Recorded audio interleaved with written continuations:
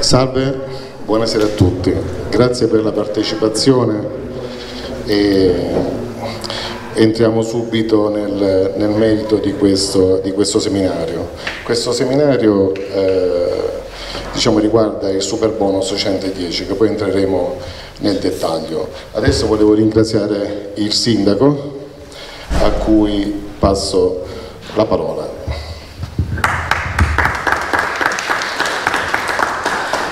Buonasera a tutti, benvenuti a Valle Saccarda. È doveroso ringraziare chi ha organizzato questo evento e questo momento di approfondimento su un tema, eh, non dobbiamo nascondercelo, molto atteso negli anni e oggi ovviamente sta arrivando al dunque come scadenza, se non sbaglio, del 15 ottobre come data di immissione dei dati fiscali per iniziare ad accedere a queste agevolazioni. Quindi ringrazio l'ordine, il collegio dei geometri che ha voluto questo incontro. Permettimi, eh, Presidente, un ringraziamento personale al geometra Feo con il quale mi lega un'amicizia ormai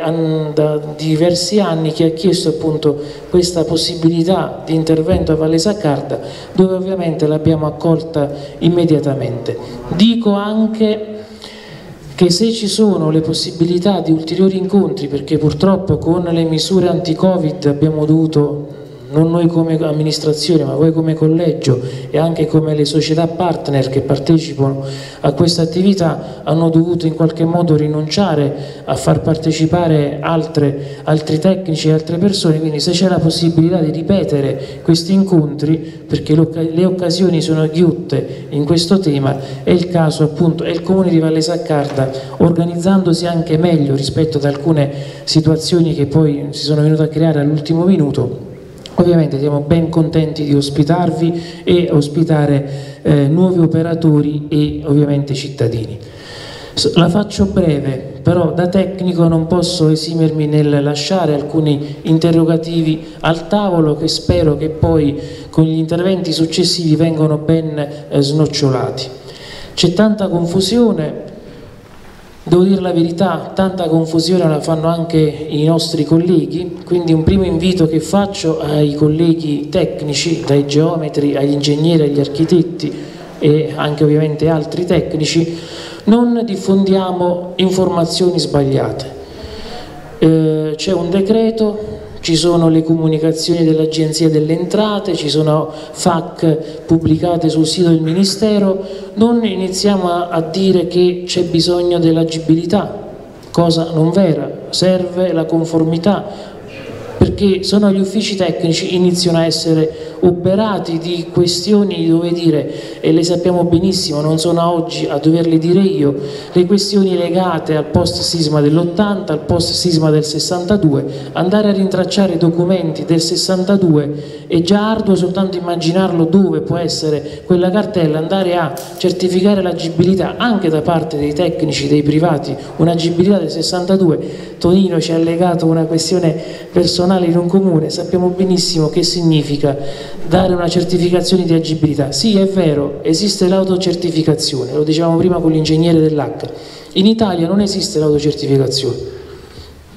Esiste sulla carta, poi c'è sempre bisogno di qualcuno che deve andare a vedere se tu hai quello che hai dichiarato è vero, quindi è sempre un cane che si morde la coda. Siamo seri, siamo tecnici, dobbiamo dare delle informazioni giuste, dettagliate ai nostri clienti, ai nostri cittadini e concittadini.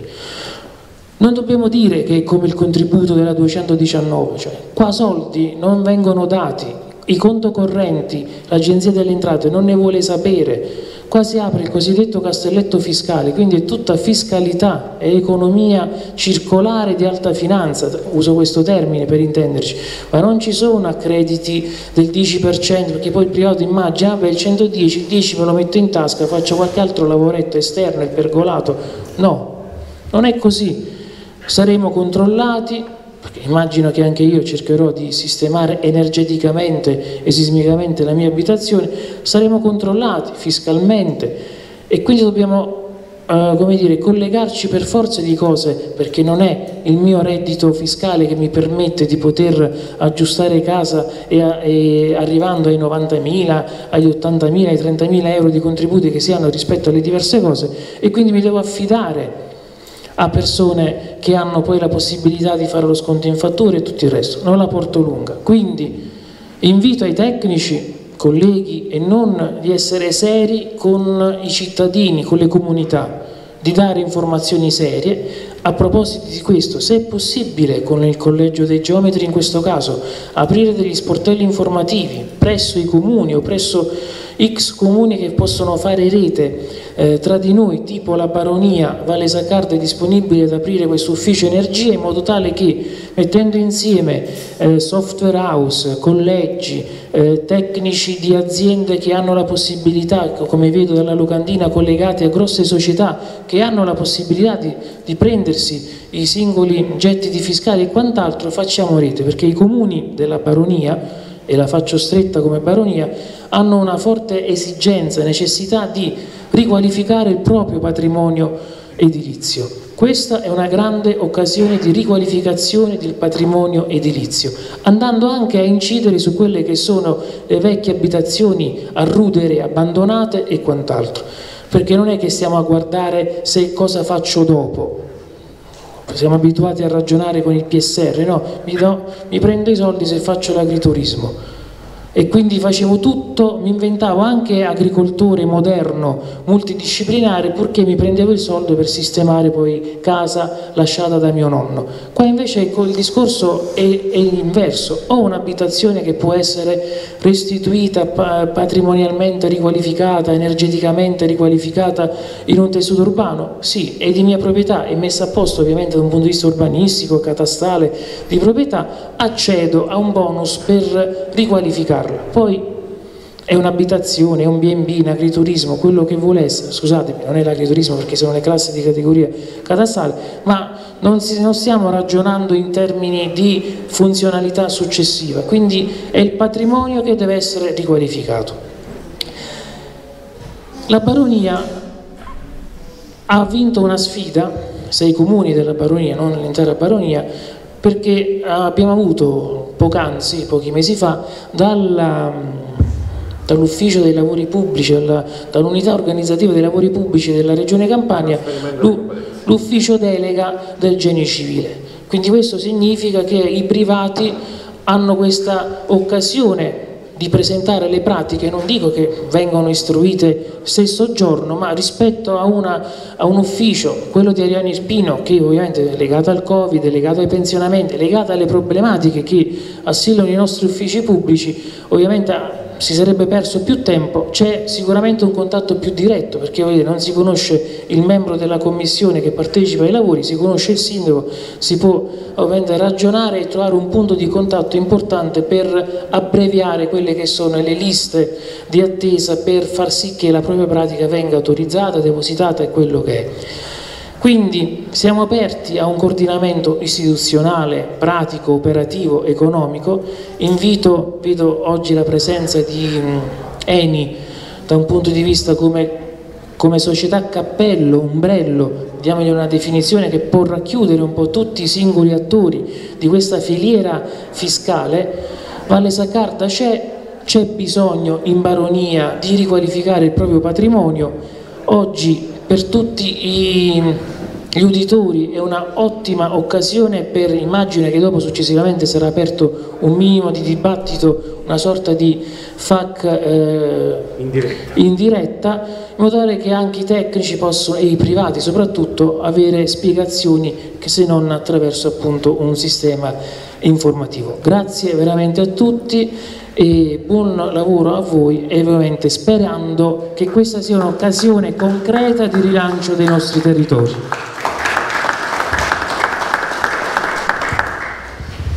Ringrazio il Sindaco per l'intervento, sicuramente questo sarà,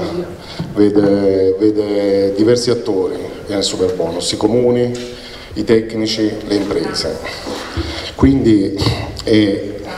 opportuno eh, è stato opportuno evidenziare anche questi aspetti perché gli uffici tecnici saranno caricati di, di lavoro per risalire un pochino a quello che era l'origine della pratica per risalire a quello che è la conformità urbanistica che si richiede in questo tipo di progetti. Quindi, e questo è un aspetto molto importante, un aspetto che va visto sin dai primi momenti perché è alla base del, della possibilità di accedere o no al super bonus. Io poi diciamo, presenterò mano a mano i, i, singoli relatori io sono l'ingegnere Nicola Vassalli, rappresento in questo momento Costruireco e siamo una società che si occupa di costruzione. Siamo partner della Impetec e quindi siamo, fin dal primo momento ci abbiamo focalizzato la nostra, la nostra attenzione sul super bonus perché secondo noi è un'opportunità, ma non solo per le imprese e per i tecnici, ma anche per i cittadini e per tutti coloro che vogliono approfittare di questa opportunità. Ora eh, voglio fare diciamo, voglio esporre in maniera molto semplice diciamo, quello che è quello che si può fare. Allora, che cos'è il super bonus? Tutti quanti ce lo siamo chiesti, lo sentiamo dappertutto, però bisogna chiarirlo per bene. Allora, il super bonus non è altro che una detrazione fiscale al 110%. quindi questo, quindi parliamo comunque di detrazione fiscale non ci stanno contributi ma parliamo di detrazione fiscale. Allora l'unico vantaggio, se così possiamo chiamarlo, oltre a poter usufruire del, della possibilità di scalare dalle tasse al 100%, oltre a vedere poi il discorso della cessione del credito che è un meccanismo che è molto molto molto importante, quello che, che noi riteniamo sia il motore di questo eh, di questo decreto è che se io spendo 100, fermo restando nei limiti possibili del, del, delle detrazioni che ha fissato il governo, ne posso portare in detrazione 110. Lo posso anche vendere quello che questo, questa detrazione. Questo che cosa implica? Che questo è un aspetto molto importante che forse non tutti quanti conoscono. È la possibilità e la detrazione fiscale non è legata al a quello che uno guadagna, a quello che uno paga di tasse, ma è legata all'unità immobiliare. Questo che cosa comporta? Perché è un aspetto molto importante, che se uno ha un reddito tale da poter assorbire in 5 anni l'ammortamento di quelli che sono gli investimenti, lo può usufruire già da subito e quindi quello che dovrebbe pagare di tasse di fatto lo, lo, lo paga in lavori, quindi gli viene rimborsato. Altrimenti può cedere questo credito che non è legato al reddito personale ma è legato all'unità immobiliare, quindi anche uno che guadagna 10.000 euro, paga 1.000 euro di tasse all'anno, può comunque usufruire del, della detrazione fiscale. Questo è importante, quindi ognuno ne può usufruire, non ci stanno limiti da questo punto di vista. Allora, ora diciamo che cosa parla diciamo, il super bonus, che cos'è? sono interventi di efficientamento energetico e sicurezza antisismica, quindi bisogna concentrarsi su questi due tipi di interventi. Se si focalizza l'attenzione su questi due tipi di interventi si può usufruire di questo 110, quindi efficientamento energetico. Quindi dove possiamo intervenire con l'efficienza energetico? Possiamo intervenire nelle parti comuni dell'edificio, immaginiamo un condominio, immaginiamo uh, delle strutture, una casa unifamiliare, quindi sull'involucro esterno dell'edificio, possiamo quindi può interessare anche la singola unità immobiliare, non bisogna che questo sia per forza un condominio, anche chi ha una casa singola può usufruire dell'efficientamento energetico o della sicurezza antisismica, può, parliamo di edifici quindi unifamiliari o plurifamiliari e anche edifici che si trovano all'interno di, di, di, un contesto plurifamiliare, però l'importante è che sia funzionalmente indipendente e abbia un accesso separato. Chi può usufruirne? I condomini. Quindi se si trova in un condominio, il condominio può usufruire perché può fare l'efficientamento energetico su tutto l'involucro edilizio. Le cooperative di abitazione, le persone fisiche, quindi anche chi ha la casa unifamiliare abita in una villetta, abita in una casa isolata, può usufruire della detrazione fiscale, organizzazioni non lucrative, quindi immaginiamo una, una cooperativa sociale,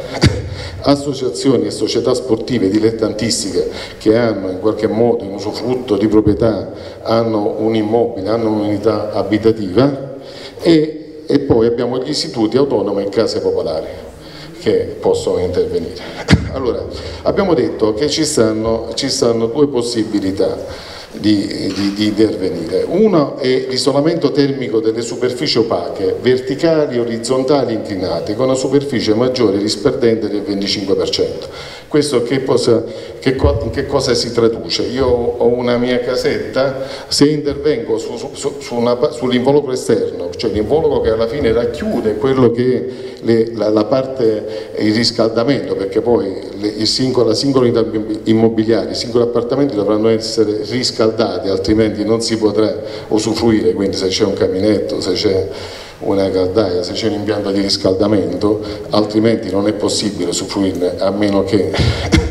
non si vada verso la sicurezza antisismica. E in più se ci sta la, la possibilità di sostituzione, di sostituzione, degli impianti di climatizzazione invernali e nei condomini devono essere poi trattati come eh, impianti condominiali, anche in questo caso qua si può usufruire del 110%, quindi questi sono i due aspetti. Ora per quanto riguarda l'isolamento termico delle superfici opache, che cosa, di che cosa stiamo parlando? Possiamo parlare tipo del cappotto termico non so se avete presente eh, gli interventi, soprattutto sulle strutture esistenti, siccome è difficile poi intervenire anche in altri modi, forse l'intervento che sia più semplice è quello di intervenire sull'involucro ma può avvenire anche all'interno delle, delle, singole unità immobiliari, può avvenire attraverso il cappotto termico, quindi si mette uno strato di isolante e così via, si possono fare vari pacchetti, questo però sempre che si riesca a dimostrare, qui il tecnico dovrà fare un progetto termico adeguato, che si passi di due classi energetiche, cioè verrà fatta un'APE, un'attestazione di prestazione energetica ante l'intervento, cioè qualcosa che fotografa il, grazie, qualcosa che fotografa diciamo, l'immobile prima di intervenire e poi verrà fatta un'APE successiva, cioè si fa un progetto di isolamento, si fa un progetto termico oppure un progetto di climatizzazione invernale che tale da creare le condizioni affinché si passi di due classi energetiche superiori. Quindi questi sono alla base del, del, del, della possibilità di poter detrarre la detrazione fiscale. Ora che cosa succede? Che questi due tipi di interventi vengono chiamati interventi trainanti, cioè se io faccio questo tipo di intervento ho la possibilità di abbinare anche altri tipi di intervento che vengono detti trainati. Poi entriamo anche nei numeri, quanto sono i costi più o meno, quello che attualmente è possibile usufruire, fino a che numeri ha dato. C'è una tabella in cui lo Stato ha, ci ha dato del, dei limiti eh, ad ogni parametro di spesa. Quindi a questo possiamo aggiungere i serramenti, possiamo aggiungere i, tipo le caldaie a condensazione, solare termico, i francisoli e gli impianti fotovoltaici. Nel momento in cui facciamo gli impianti fotovoltaici possiamo anche inserire gli accumuli per gli impianti fotovoltaici e infine le colonnine per la ricarica delle auto elettriche. Quindi questi sono gli interventi trainati, quindi ci stanno i due interventi principali, se uno riesce a a fare quel tipo di intervento passa di due classi energetiche ci può abbinare anche quest'altro tipo di intervento qua. Inoltre poi questo parliamo di efficientamento energetico, però come ho detto all'inizio c'è anche la possibilità di eh, lavorare sul sisma bonus, quindi abbiamo detto sulla possibilità di intervenire sulla sicurezza sismica. Quindi la sicurezza sismica che cosa succede anche in questo caso qua? Se eh, nel caso nostro che siamo in una zona sismica abbastanza eh, in una zona sismica alta e quindi che cosa comporta questo? Che noi possiamo intervenire sull'immobile con la sostituzione di alcuni elementi costruttivi oppure anche sull'abbattimento e ricostruzione dell'immobile se riteniamo che lo stesso non, sia, non valga la pena, tra parentesi, intervenire con singoli interventi oppure con dei consolidamenti mirati. L'importante è che alla fine il tecnico che assevera tutto questo tipo di interventi faccia una relazione in cui dimostri che ha aumentato la sicurezza, il grado di sicurezza sismica dell'edificio. Quindi questi sono gli interventi che si possono detrarre al 110%, faccio 100, ne detraggo 110, nei limiti dei parametri di spesa che più avanti vi, in qualche modo vi, vi elencherò. Ora vi do qualche, eh, vi do qualche, qualche, qualche numero così ognuno può anche avere diciamo, qualche numero di riferimento. Per quanto riguarda gli interventi di isolamento termico, e quindi parliamo di efficientamento di cappotti termici, ogni, se, eh, ogni eh, singola unità immobiliare ops, ogni singola unità immobiliare può avere un massimo, può portare in detrazione un massimo di 50.000 euro, compreso IVA, comprese le spese tecniche compreso tutto. Quindi se io ho una singola unità faccio un progetto termico, dimostro che supero di due classi, faccio un computo metrico, se il computo metrico non supera i 50.000 euro, quindi eh, ci sarà la parte relativa all'IVA e alle spese tecniche, il tutto non deve superare i 50.000 euro, io ho la possibilità di portare tutto in detrazione, quindi l'intero intervento. In questo caso qua viene detto che in qualche modo la persona che usufruisce di questo ha la possibilità quindi di, di, di, di ha la possibilità quindi di portare tutto in detrazione e di fatto non spende niente perché rientra all'interno di questi parametri. È normale che se poi uno vuole fare un intervento particolare, noi dai nostri compiti, dai nostri progetti che già abbiamo fatti diversi, finora diciamo più o meno abbiamo visto che ci rientriamo nei limiti di spesa che il governo ha fissato, quindi non c'è necessità, tra parentesi, di aggiungere ulteriori somme da parte del cliente. Quindi se invece ci troviamo in un condominio, fino a 8 unità immobiliari ci sono la possibilità di usufruire di 40.000 euro a unità immobiliare, superiore a 8 unità scende a 30, quindi faccio un esempio, un, un, un condominio di 4 unità immobiliari può usufruire di 4x4 160.000 euro di spesa massima. Di possibilità di detrarle o di cedere il credito, ma poi entreremo nel dettaglio perché questo è un aspetto molto importante che verrà affrontato più avanti. Poi abbiamo quindi la possibilità anche di intervenire sugli impianti di climatizzazione, in questo caso abbiamo 20.000 euro per singolo intervento, per singolo unità immobiliare, se invece l'edificio è unifamiliare abbiamo 30.000 euro. Poi abbiamo gli infissi con un massimo di 60.000 euro a unità immobiliare, però non, non ci facciamo, diciamo, bisogna guardare vari parametri, perché poi è vero che hanno fissato un limite di 60.000 euro, ma è vero che hanno fissato anche un limite di costo al metro quadro degli infissi che non può superare i 650 euro, quindi arrivare a 60.000 euro è molto molto difficile.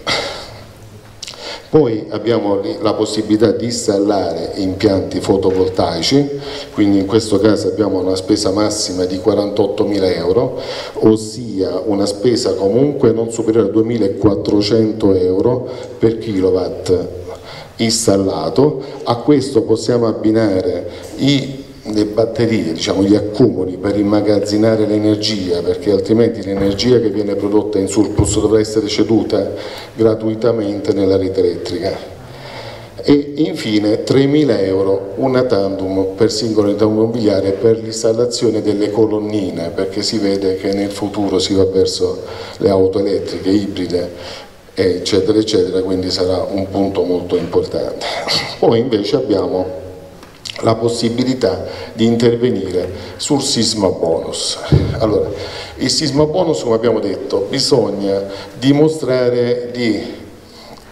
fare, di, di, di aumentare la sicurezza sismica dell'edificio, fino ad arrivare anche all'abbattimento e alla ricostruzione ci stanno la possibilità, uno a un router, a un'unità collabenti, così come viene definita, in questo caso diceva che adesso devo andare a intervenire a destra, a sinistra, una spesa eccessiva, quindi posso optare nella possibilità di abbatterlo e ricostruirlo e usufruendo di una spesa di 96.000 euro per unità immobiliare, quindi questa è la spesa massima, è una bella spesa, cioè è, un, è, un, è un, aiuto abbastanza importante. Ogni, è normale che ogni singolo intervento sarà opportunamente progettato, quindi ci sarà un progetto a corredo di quello che, che sono gli interventi e un computo metrico che dovrà comunque attenersi al attualmente stato, sono state date delle indicazioni, a tenersi al preziario regionale delle opere pubbliche della regione Campania, qui in Campania però eh, in Puglia così eh, per quanto riguarda la Puglia, quindi quelli sono i prezzi di riferimento, poi laddove non ci stanno dei prezzi particolari perché ci stanno delle lavorazioni particolari si potrà eh, redigere apposita analisi dei prezzi di ogni singolo intervento. Questo è il, eh, è, è diciamo, il quadro generale, poi ci saranno vari casi eh, che andranno affrontati singolarmente. Ora che cosa abbiamo detto dall'inizio? Che il, la persona, chiunque voglia usufruire di questa detrazione fiscale che è attribuita all'unità immobiliare, quindi non è legata al reddito personale di ogni singola persona, che cosa fa? Dice vabbè, ma io allora aggiusto casa, ho diritto a una detrazione di 50.000 euro per fare il cappotto, ma qualcuno i soldi li deve pure cacciare, perché altrimenti l'impresa che viene dice ma io come faccio? Allora si possono optare tre soluzioni. La prima, il beneficiario, cioè colui che fa l'intervento, paga direttamente il fornitore e quindi conserva le detrazioni fiscali del 110% delle spese sostenute da fruire nei successivi 5 anni faccio un esempio, ho spento 100.000 euro che rientra nel discorso dei 45 più 60 più tutti quei numeri che ci siamo detti prima, quindi ho 100.000 euro dal computo medico, quindi ne posso portare in detrazione 110, ma io comunque devo avere poi una fiscalità, una capacità di reddito tale da spendere almeno 22.000 euro, quindi se io pago 22.000 euro me lo faccio io l'intervento, semmai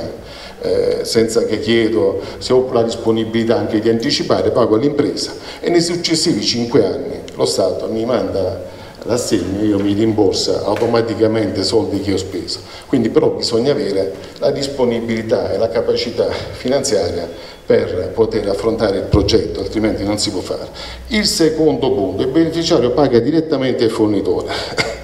la sua diciamo, detrazione fiscale del 110% della spesa sostenuta viene trasformata in credito d'imposta da cedere a terzi. Quindi può succedere anche un'altra cosa, la persona dice guarda, chiama il tecnico, chiama l'impresa, si fa fare tutte le carte che servono per eh, per eh, usufruire del 110, quindi rispettando i parametri, le due classi energetiche o per quanto riguarda il sisma bonus, eh, l'aumento delle classi energetiche, ok, io adesso ho acquisito la possibilità di usufruire di una detrazione di 100.000 euro. Che cosa faccio? Io soldi non ce l'ho, la posso anche io stesso cedere a terzi e quindi ci saranno questi, diciamo, ci stanno società, banche che lo acquistano pure, però anche là subentrano alcuni dubbi che poi saranno affrontati diciamo, successivamente. Il terzo, che è quello che in qualche modo eh, ci sentiamo di dire che forse è quello più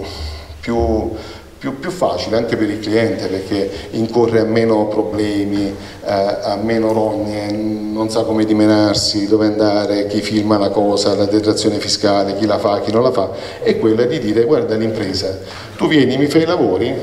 e io ti cedo a te questo 110% di, di detrazione fiscale, tu ne fai quello che vuoi.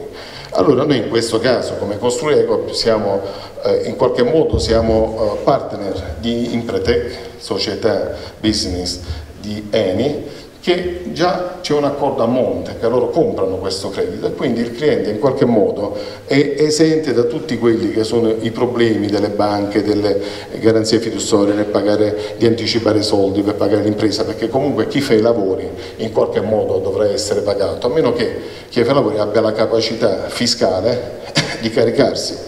del, di questi importi e dice vabbè io devo, me ne carico e a posto di pagare le tasse mi detrago questi soldi però sono poche le imprese che riescono in qualche modo ad avere la forza economica eh, per, per, affrontare questo tipo di, eh, di, di problemi. Ora eh, è normale che in tutto quanto questo discorso, nel momento in cui eh, parlavamo all'inizio, c'è un discorso che va affrontato a monte, è quello della conformità urbanistica. Uno si parlava di agibilità, si parla, eh, là si parla di conformità urbanistica. Che cos'è questa conformità urbanistica? Allora, eh, perché poi c'è da vedere, ma serve il progetto degli impianti, non serve la conformità degli impianti, non, non, non è così. La conformità urbanistica è capire al momento della costruzione del fabbricato se è stato presentato tutto quello che andava presentato, perché qua le leggi sono cambiate, cioè fare la casa 100 anni fa si faceva in un certo modo. Ci stanno case che hanno 100 anni, non è che a quello possiamo chiedere la conformità degli impianti, perché quello ci abita, ci vive, non è che è una casa che non è tra parentesi agibile, è agibile a tutti gli effetti, così negli anni c'è stato, quando c'era la concessione edilizia, prima non c'era. Allora va inquadrata un po' quella che è la situazione dell'immobile nel, nell'epoca della realizzazione. Quali sono i problemi che più o meno almeno noi stiamo cercando e vediamo che ci stanno alcuni problemi da superare. Sai, la pratica si avvia, c'è la concessione edilizia, o si è scordato qualcuno di presentare qualche documento finale, o la fine lavori, o il collaudo, quello, quindi questi sono i documenti da andare a ricercare, non documenti che oggi vengono richiesti, se uno fa la casa d'oggi, addirittura tu ad oggi se costruisci una casa, alla fine non c'è nemmeno bisogno di chiedere l'agibilità, il tecnico con una scia che allega una serie di documenti e automaticamente si, se l'autocertifica l'agibilità quindi questo, è, io lo dico ai tecnici, questo è quello da andare in qualche modo a verificare. La conformità urbanistica, anche perché ci sarà un'asseverazione del tecnico che dovrà poi oggettivamente valutare tutti questi tipi di problemi, perché se c'è un problema poi ne paga il tecnico che ha firmato quel tipo di asseverazione. Infatti è richiesta al tecnico, e lo dico a tutte le persone che vogliono usufruire, ai tecnici, di stipulare una polizza a garanzia dei, dei singoli, del, de, della capacità di progettazione. Faccio l'esempio, sono ingegnere, ne faccio 3 milioni di euro di, di interventi, sai, condominio 1, condominio 2, condominio 3, tanto a me che me ne importa, poi succede qualcosa quando sarà tra tre anni eh, vengono da me, ma io non ce l'ho 3 milioni di euro da restituire a qualcuno, se qualcuno viene un domani chi, chi li paga questi soldi? Quindi ci sarà, è obbligatoria la polizza che vada anche a garanzia delle persone che in qualche modo eh, affidano l'incarico ed è obbligatoria, quindi è, poi saranno richiesti tutti questi documenti, così come è obbligatorio anche la certificazione del credito. Adesso dal 15 ottobre sembrerebbe che l'Agenzia delle Entrate abbia, eh, aprirà il portale dove caricare tutte le pratiche e ognuno potrà caricare le pratiche perché gli interventi agevolabili sono già, già sono partiti dal primo luglio. Quindi tutto questo, io adesso sto facendo un intervento che credo che rientra in questo tipo di, di, di, di aspetto, io posso in qualche modo caricare i documenti e le posso portare, comunque posso avere questo credito fiscale che come detto a monte ho quelle tre opzioni per, eh, per, per capire cosa farne questa, questa, detrazione fiscale. Io adesso non mi voglio dilungare perché se poi eh, alla fine avremo modo di approfondire anche alcuni aspetti. Io ho fatto giusto un, un quadro generale. Ora passo la parola al, al, Presidente del Collegio dei Geometri e Geometri Laureati della provincia di Avellino che è sempre vicino ai propri iscritti e quindi li supporta anche in questa grande e, e, forte opportunità che si sta creando soprattutto anche per i tecnici, oltre per le persone che usufruiscono l'intervento, ma se, le, se non ci stanno dei tecnici preparati che riusciranno a fare queste pratiche e imprese che vorranno realizzare questi lavori, non si fa il, non, nessuno aggiusta niente, perché il cerchio si deve chiudere, cioè c'è il tecnico, solo il progetto non serve a niente serve il progetto, serve l'impresa che lo realizza e serve il cerchio che deve chiudersi. Ed è qua pure un altro aspetto che secondo noi è vincente il pacchetto che in qualche modo proponiamo che è a supporto delle, delle, imprese che vogliono in qualche modo usufruire, che non sanno come uscire, quindi noi offriamo anche questo supporto alle imprese che stanno sul territorio se vogliono collaborare e così anche ai tecnici, in modo tale da da, da, portare avanti un intervento che poi sia effettivamente realizzato, perché forse l'anello debole in tutto questo saranno proprio le imprese, non si riescono a trovare imprese che riusciranno in qualche modo a supportare questo tipo di operazione, perché se va in porto è un'operazione abbastanza importante. E, niente, passo la parola al Presidente.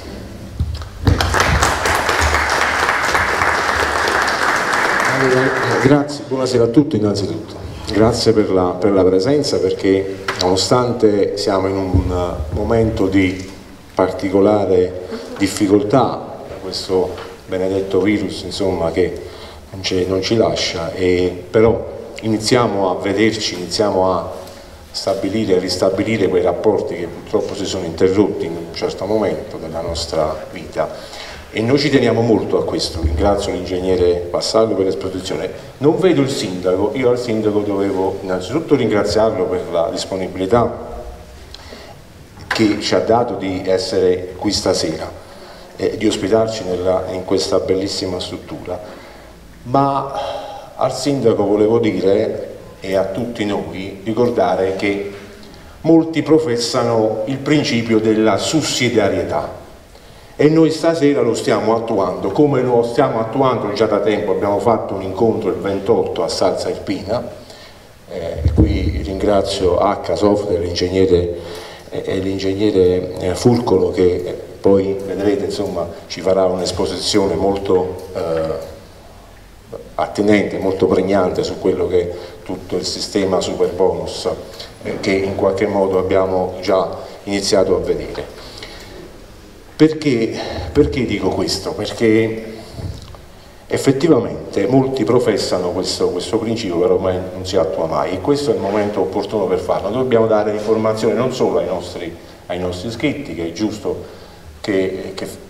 lo dobbiamo fare per principio, ma noi lo stiamo dando anche ai cittadini,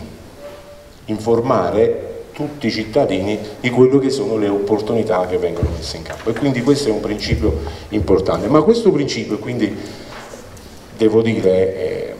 è un principio che noi stiamo mettendo in atto anche perché il sindaco non c'è ma gliel'avevo accennato prima noi stiamo chiudendo come collegi dei, diciamo, dei campani stiamo chiudendo e lo dico ai miei iscritti ma anche ai cittadini che lo devono sapere stiamo chiudendo una convenzione con ANCI Campania, l'Associazione dei Comuni Campani e in particolar modo dei piccoli comuni, perché tutti i comuni sono in difficoltà, lo stiamo vedendo oggi perché richiediamo copie, come abbiamo detto prima, di, di concessioni, di vecchie cose, cioè siamo in difficoltà perché gli uffici sono ormai svuotati, vuoi da quota 100, vuoi da pensionamenti normali che c'è, ormai sono svuotati. E allora noi con questa convenzione cosa vogliamo andare a fare? A dire con un fondo rotativo che la nostra cassa mette a disposizione, la nostra cassa di previdenza mette a disposizione, quindi offrendo un mutuo ingegnere, restituibile poi negli anni quando il comune avrà la possibilità di farlo, da... e quindi far lavorare i nostri giovani all'interno delle pubbliche amministrazioni per risolvere questi problemi. E noi stiamo facendo questo. Questo dovrebbero fare anche la politica probabilmente, se si sveglia un attimo e cerca di, di darci una mano. Noi ce lo stiamo mettendo tutta. Noi abbiamo cercato di attuare quel principio di semplificazione e riguardo qui il sindaco l'ha richiamata, eh, Valle Saccarda è capofila di una serie di comuni che hanno avuto ehm, dire, a sé eh, il, il trasferimento delle competenze del genio civile per quanto riguarda le autorizzazioni simili e anche qui noi abbiamo fatto un lavoro straordinario.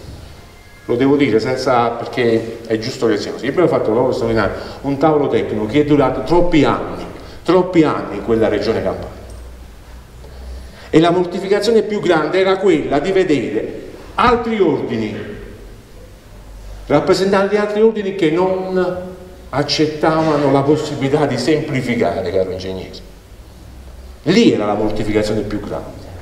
perché noi avevamo la possibilità di farlo, lo abbiamo fatto oggi, perché si passa per la stragrande maggioranza delle opere, si ritorna al deposito non più l'autorizzazione, che era una cosa che non si poteva più sostenere. Bene, io dico allora, ma se abbiamo costruito come abbiamo costruito il ponte di Genova,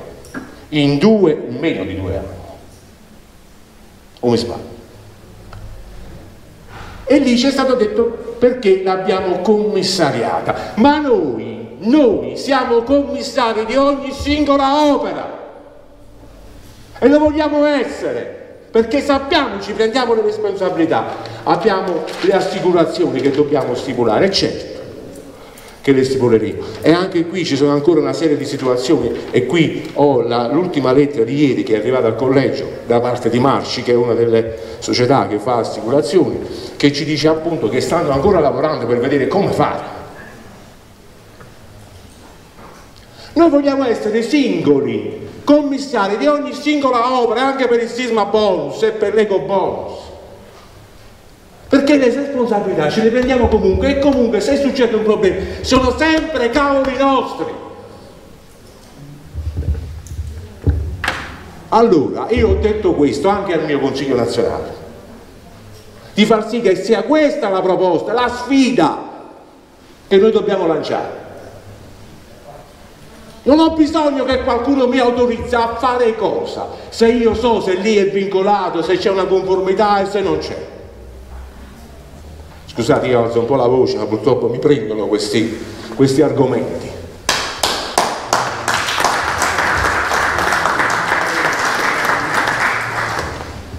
perché quando assisto a tavoli e sono stato seduto in quei tavoli, ho avuto la fortuna e il privilegio di esserci e ringrazio i miei iscritti per questo,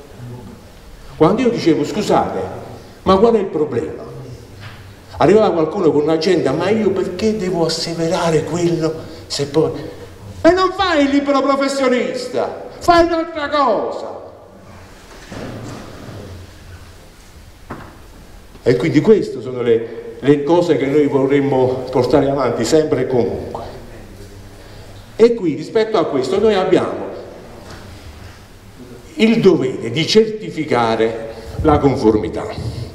E abbiamo detto anche qui al governo che purtroppo parte in quarta per poter dire delle cose e poi eh, dobbiamo correre sempre a decreti attuativi, a modifiche, a regolamenti, ecco. Ma di cosa stiamo parlando? Voglio sfidare chiunque a trovare in un'abitazione qualcosa che è tale e quale al progetto presentato. Se me lo trovate, io sono disposto a fare questa sfida. Allora, siccome ci sta 10 cm in più, ho sbagliato a fare il calcolo, ho messo la porta un po' più qua, un po' più là, il tramezzo e quello e quell'altro. Scusate, queste cose potevano essere oggetto, adesso l'hanno sfilato in un decreto semplificazione, che è ancora in discussione. C'era qualcuno di questi nuovi fenomeni di movimenti che dicono no, e questo è un condono, fermateli, arrestateli. Di cosa? Il condono di chi? Noi vogliamo mettere a posto quelle piccole modifiche che ci sono e sono reali 10 cm di altezza, 10 cm di larghezza. Queste sono le difformità. Certamente nelle zone vincolate non andiamo a dire o a fare la sanatoria di quel fabbricato che è abusivo. Noi abbiamo cercato questo. Ci hanno detto che devono fare un cam, una modifica del regolamento del 380 per poter fare questo. Ma di che cosa stiamo parlando? Di cosa stiamo parlando? e poi vogliamo far attuare tutto questo in un anno in un anno, scadenza 31-12-2021 io vorrei parlare con chi ha scritto quella norma come si fa un ministro delle infrastrutture che è anche un tecnico ma io sinceramente non, non, riesco. Poi ci sono tutte, adesso stiamo facendo questi convegni per dare informazioni ai cittadini e troviamo ancora mille interrogativi su queste cose. Adesso per fortuna si è svegliato un vice ministro, mi pare, che abbia detto che è favorevole a poter fare una proposta di allungamento a tre anni. Beh, insomma, iniziano a ragionare, si sono svegliati. Tutto a un tratto. Allora, qui però devo richiamare anche nostre, i nostri consigli nazionali, tutti, non solo il mio, la rete delle professioni tecniche, che scrive lettere. Io dico no, andate dal Presidente del Consiglio dei Ministri a dire questo, come abbiamo fatto noi andando dal Presidente della Giunta regionale a dire non se ne può più di tutto questo. Lo abbiamo fatto cinque fessi di presidenti del collegio dei geometri. A dove abbiamo detto quattro righe su un foglio a quattro, come questo, ma con righe molto, molto più sintetiche di questo. E lui ci ha detto, ah, e eh, allora facciamo. Probabilmente la difficoltà è a volte che ai politici non arriva quelle che sono le esigenze della gente. Questa è la difficoltà. Ci interfacciamo, la rete delle questioni tecniche, lettere contro lettere per quella comunicazione, basta, dovete andare alla fonte dei problemi. E dobbiamo fare, per se no, questa occasione che io ritengo straordinaria, io ritengo che sia straordinaria perché riqualificare un patrimonio non solo dal punto di vista dell'eco bonus, per carità, io sono più che contento, è più facile anche per noi poter autocertificare e fare un intervento di questo, ma io penso, e qui anche le amministrazioni, che hanno dei centri storici a volte molto messi male, perché ci sono delle situazioni, parlo del mio comune che conosco meglio ovviamente, ma credo che abbastanza gli altri centri storici non siano messi bene da questo punto di vista. E allora perché non incentivare alla demolizione e ricostruzione? E questo perché a volte, anche abbiamo fatto degli interventi, lo dissi anche a Salz, abbiamo fatto degli interventi anche nelle scuole di riqualificazione,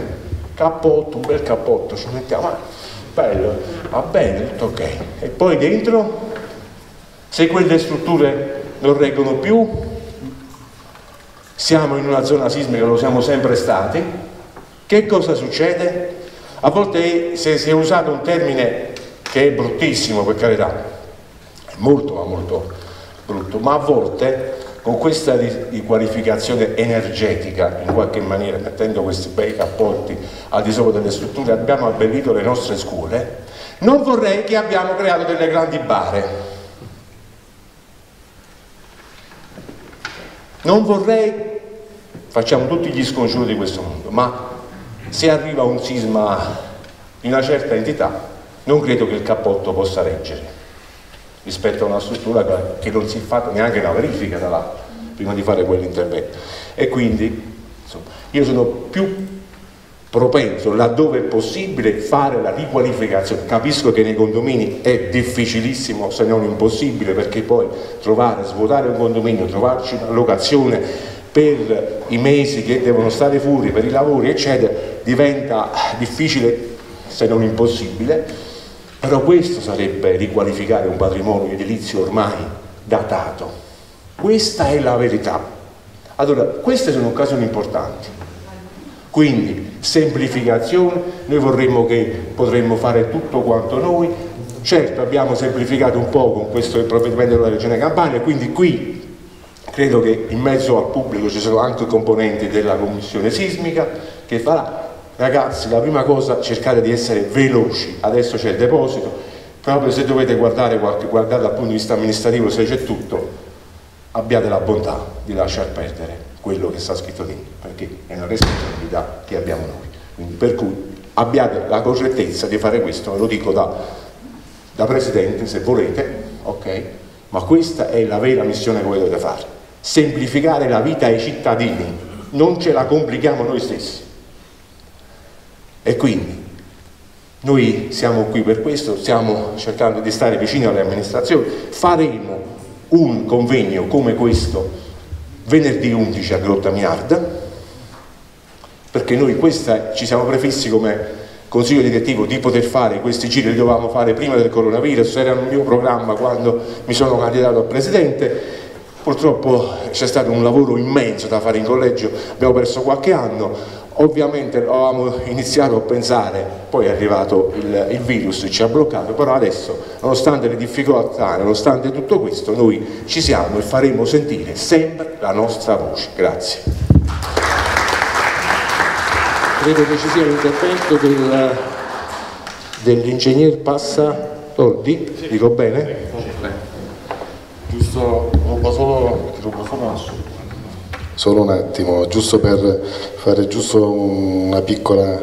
eh, nota, per quanto riguarda i sisma bonus e eco bonus sono cumulabili, quindi eventualmente mm. qualcuno ha, abbia la possibilità, okay, c'è la possibilità di abbattere, ricostruire, si può comunque usufruire anche dell'eco bonus quindi, e si sommano quelli che erano le, eh, i parametri, diciamo, quelli che erano le somme che, di cui c'è la possibilità di, di portare in detrazione al 110%. Io adesso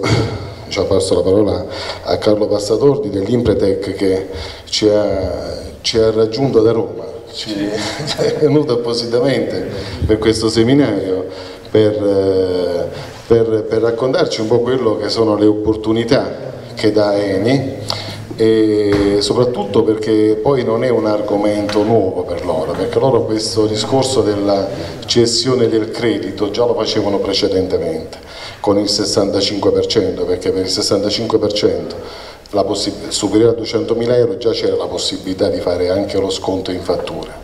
E adesso ti passo la parola a Carlo. Allora, intanto un ringraziamento ai padroni di casa, direi al sindaco che ci ospita gentilmente nella sua sede. Eh, chiaramente vabbè, dovunque abbiamo dei partner come Costruire Eco ci sentiamo a casa, voglio dire, cioè, quindi eh, non, non, non, usiamo molti convenevoli perché lì dove abbiamo partner di fiducia eh, abbiamo dire, già iniziato un rapporto anche con il territorio, quindi eh, ci si sta già muovendo su questo territorio. L'opportunità, opportunità di cessione del credito, mi ricollego solo un attimo a quanto diceva il Presidente, lei con, allora concordo pienamente, chiaramente sia con l'atteggiamento forte, io sono peraltro anche membro e consigliere dell'Ordine degli Ingegneri, quindi, quindi eh, sono lotte dire, che faccio da un po', eh, purtroppo non sempre la politica segue eh, quelle che sono anche le indicazioni pervenute sia dalla rete delle professioni tecniche piuttosto che da, da tutti quanti i consigli dei vari ordini, degli architetti, degli ingegneri, chiaramente nelle loro vesti istituzionali nazionali. Eh, ci, diciamo, è una grandissima opportunità, questa è anche una, una, cosa che tutti quanti dovete valutare. Allora spesso, eh, da, soprattutto dalle nostre parti, si tende ad, ad associare dire, questo incentivo di legge alla 219 dell'80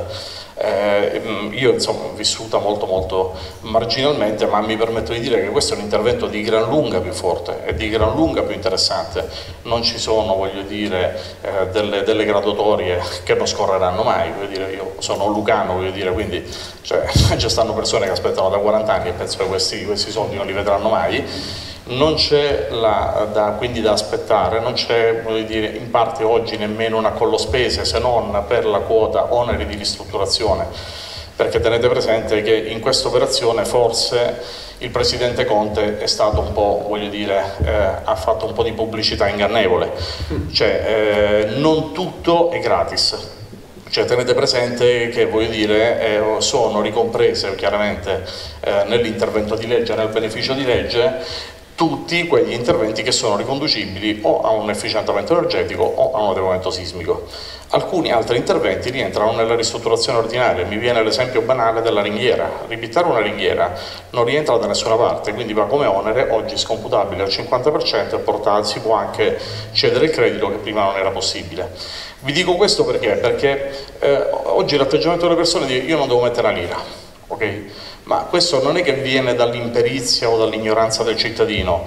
viene forse dal, insomma, da una pubblicità ingannevole, ecco, diciamo commercialmente si chiamerebbe una pubblicità ingannevole che è stata fatta, dire, forse dando un messaggio diverso, perché è chiaro che un Presidente del Consiglio che dice si faranno gli, gli interventi e il cittadino non deve mettere una lira, se non altro è fuorviante Ecco, quindi partiamo da questo, da questo, giusto due parole per ricollegarmi un po' a quanto chi mi ha preceduto eh, in questa riunione eh, ha, ha, tirato fuori come elementi. Ora non voglio andare fuori tema, io mi atterrò sostanzialmente a, a nostro, al nostro ruolo. Noi siamo un contraente generale eh, di Eni, business partner eh, di Eni,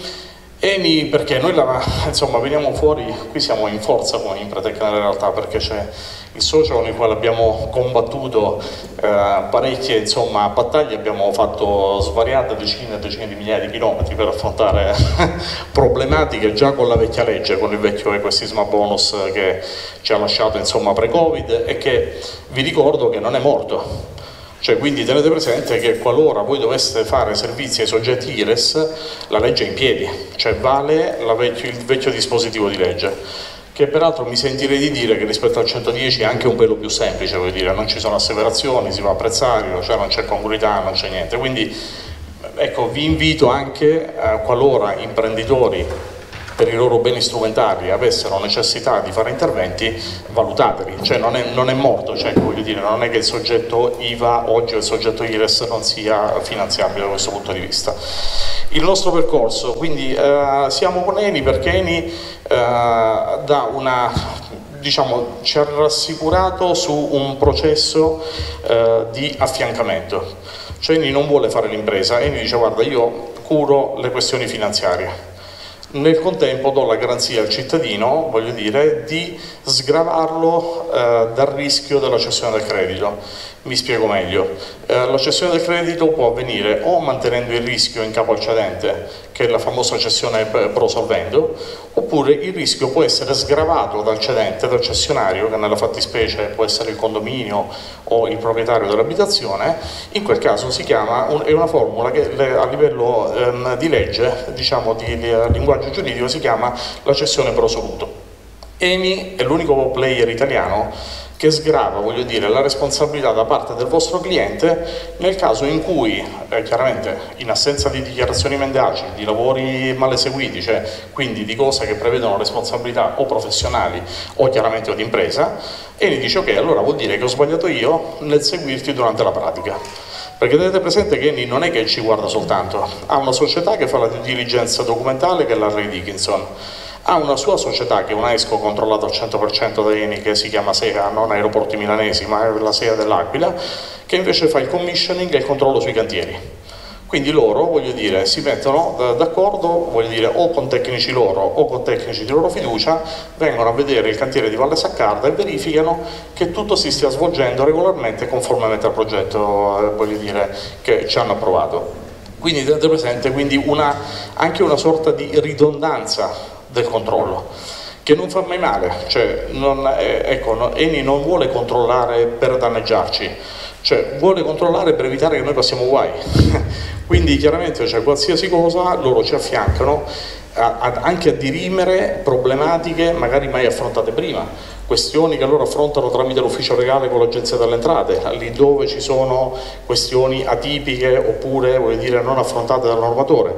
Quindi per noi sicuramente un valido supporto. E certamente parliamo comunque anche del primo player privato italiano, quindi non di una società che ha affanno, cioè che comunque ha difficoltà a gestire il credito eh, d'imposta. Eh, si diceva prima, e lo accennava anche l'ingegnere, eh, il credito lo possono prendere anche le, le imprese o le società? Assolutamente sì, però sapete oggi qual è la difficoltà? Non è il fatturato di un anno, è che oggi nessuna impresa sa cosa farà tra 3, 4, 5 anni. Quindi oggi chi è che può gestire il credito d'imposta? Solamente chi ha un tax planning così chiaro da sapere che da qua a 5 anni, a 10 anni non gli cambierà quasi niente. Quindi chi gestisce flusso di cassa importante e costante. Eh, cioè diversamente voi avreste visto molti più partner, non imprese, invece Salini non lo fa e non gliene frega assolutamente niente di farlo, voglio dire, eppure potrebbe farlo, no? c'è un portafoglio lavori di 44 miliardi di euro, sicuramente poteva partecipare, perché partecipano le banche, partecipa l'ENI, partecipa magari Enel piuttosto che altri grossi player italiani, perché loro hanno la certezza della loro fiscalità. Tenete presente che l'anno in cui il credito non si può scomputare si perde Quindi è questo il motivo per il quale sostanzialmente in questa partita l'elemento fondamentale è stata la cessione del credito, perché questa era una partita nata, cioè la legge nel 2013, fino al 2017 non si è fatto assolutamente niente,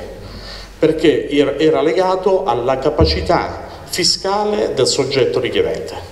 Inutile che vi dica che praticamente probabilmente già in questa assise quasi nessuno si potrebbe fare un lavoro, dire nemmeno a casa propria quindi la cessione del credito è sicuramente stata un'innovazione pazzesca secondo me, cioè veramente di, di, enorme portata. Ora ci sono sicuramente una serie di, di, cose che vanno ancora messe a fuoco. Io vi dico, in, uh, noi uh, eh, oltre ad avere poi peraltro eh, sicuramente questo rapporto di partnership con Eniche nel, nella quale sostanzialmente il rapporto come funziona, cioè loro si impegnano, allora Eni entra ad acquistare il credito d'imposta, quindi fa la parte finanza, le due oper società operative di sotto, che sono praticamente l'Harley Dickinson e la SEA, che sono comunque sempre sotto il cappello di Eni, così come lo siamo noi. Cioè noi abbiamo fatto una due diligence per essere accreditati in Eni, abbiamo dovuto dimostrare, voglio dire, requisiti di onorabilità personali, di, caso, cioè di, di ogni cosa di reputazione perché chiaramente Eni dice cioè tu mi diventi partner io non posso far mettere il mio logo apparentato a te se tu hai dei problemi di qualsiasi genere sorta, voglio dire, cioè dalla, dalla multa al contenzioso con l'agenzia delle entrate, di qualsiasi tipo eh, questo sia. In più, grazie a Matteo, devo dire la verità, in questo è solamente grazie a lui, stiamo implementando un importantissimo rapporto con una società cinese che è una delle major company mondiali. Eh, tenete presente che la holding ha un fatturato, se non ricordo male, di 57 miliardi di dollari annui un patrimonio di 86 miliardi eh, di dollari che è la CNBM, noi probabilmente chiuderemo insomma o con la holding o con una delle controllate che comunque sono dire, società leader a livello mondiale per un accordo Italia commerciale. Eh, questo ci consentirà chiaramente di avere forse di, di essere, non voglio dire il, il, main player italiano di Eni, ma sicuramente uno dei eh, maggiori eh, protagonisti sulla scena del mercato nazionale. Questo non è, diciamo, è venuto eh, fuori vi assicuro che è una cosa di estrema difficoltà, insomma, cioè, forse più, più, Matteo in questo caso si è eh, prodigato e si è speso e consumato direi anche più che, più che speso, dire, per tentare, stiamo tentando tutti insieme di portare a compimento questo che sarà un progetto bellissimo e sicuramente di rilevanza nazionale. Quindi, eh, no, abbiamo un accordo Italia senza limite di, di importo, loro saranno partner, dire, eh, ci seguiranno su tutte le, le, eh, diciamo, le operazioni Italia senza limite di importo. Così come al momento non abbiamo limite di importo con Eni. Tenete presente Eni penso abbia una fiscalità, se non ricordo male, di circa 2 miliardi di euro l'anno di, di imposte versate, quindi eh, diciamo, c'è capienza, io immagino sì, sì, che, non arrivi, sì, che non arrivi istantaneamente questa, diciamo, questo momento. Quindi eh, ecco, questo è un po' un, mo un, modo di presentarci anche a voi, voglio dire, chiaramente i nostri partner amici cioè, ci conoscono, eh, diciamo, li, li coinvolgiamo su quello che stiamo portando avanti a livello nazionale eh, sicuramente insomma, è una cosa che ci carica molto ma ci carica anche di responsabilità chiaramente, cioè, non, non, esiste una, una, cosa voglio dire bella e importante che non abbia l'altra faccia della medaglia, chiaramente sono impegni, chiaramente sono responsabilità, chiaramente sono insomma, rapporti che vanno, che vanno gestiti e vanno gestiti al meglio possibile. Oggi, diciamo, tramite Costruire Eco, siamo qui presenti sul territorio, stiamo tentando di lavorare con tanti di voi, anche già con, con tanti tecnici che si sono, si sono, operati. Noi stiamo facendo supporto, Vabbè, stasera c'è anche l'H Software, insomma, che è il leader dire, eh, dire del, del, settore del, come software house, anche per i prodotti, ho visto il Thermos e quant'altro l'offerta per il Sisma Bon, per il Super Bonus 110 quindi è un'opportunità. Io invito tutti solamente se vi posso dare un consiglio, cioè lavorate bene, lavorate con cervello, questa non è un'operazione da fare a frode, questa è un'operazione da fare in maniera intelligente. Non, eh, non eh, dovete sentire il peso di gestire la questione finanziaria, cioè voi siete professionisti, dovete progettare. Cioè la progettazione con la questione della cessione del credito non c'entra assolutamente niente. Quindi quando molte volte mi chiedono no ma come progettiamo, ma qual è il quadro economico da mettere, il computo metrico, siete voi i professionisti, siete voi i progettisti, siete voi che firmate, nessuno vi dirà mai niente, non ve lo dirà Eni, non ve lo diremo noi, cioè vuol dire siete voi che state definendo il progetto, voi siete diciamo gli artefici e anche i responsabili di questo processo. E come diceva poc'anzi il Presidente dovete avere la, la, la consapevolezza che l'essere liberi professionisti comporta dei rischi, comporta delle responsabilità. Dopodiché non lo vuoi fare, devi fare l'impiegato, non c'è un'altra possibilità, eh. cioè c'è uno spartiacque. Se tu vuoi dormire tranquillo la sera probabilmente è meglio che ti vai a impiegare perché se tu temi di firmare un progetto, un elaborato, un'asseverazione, non puoi fare il professionista, cioè non c'è un'altra possibilità, ma non per il geometri o per l'ingegnere, cioè uguale per tutti, per gli ingegneri, architetti, è, è identico. Quindi cioè, fatelo con coscienza, anche quando sarete chiamati a ruoli diversi di direzione lavori, eh, di, di sicurezza, anche lì lavorate con coscienza e fate lavorare le imprese con coscienza c'è la possibilità di lavorare non andando scannati come spesso ahimè capita sui lavori pubblici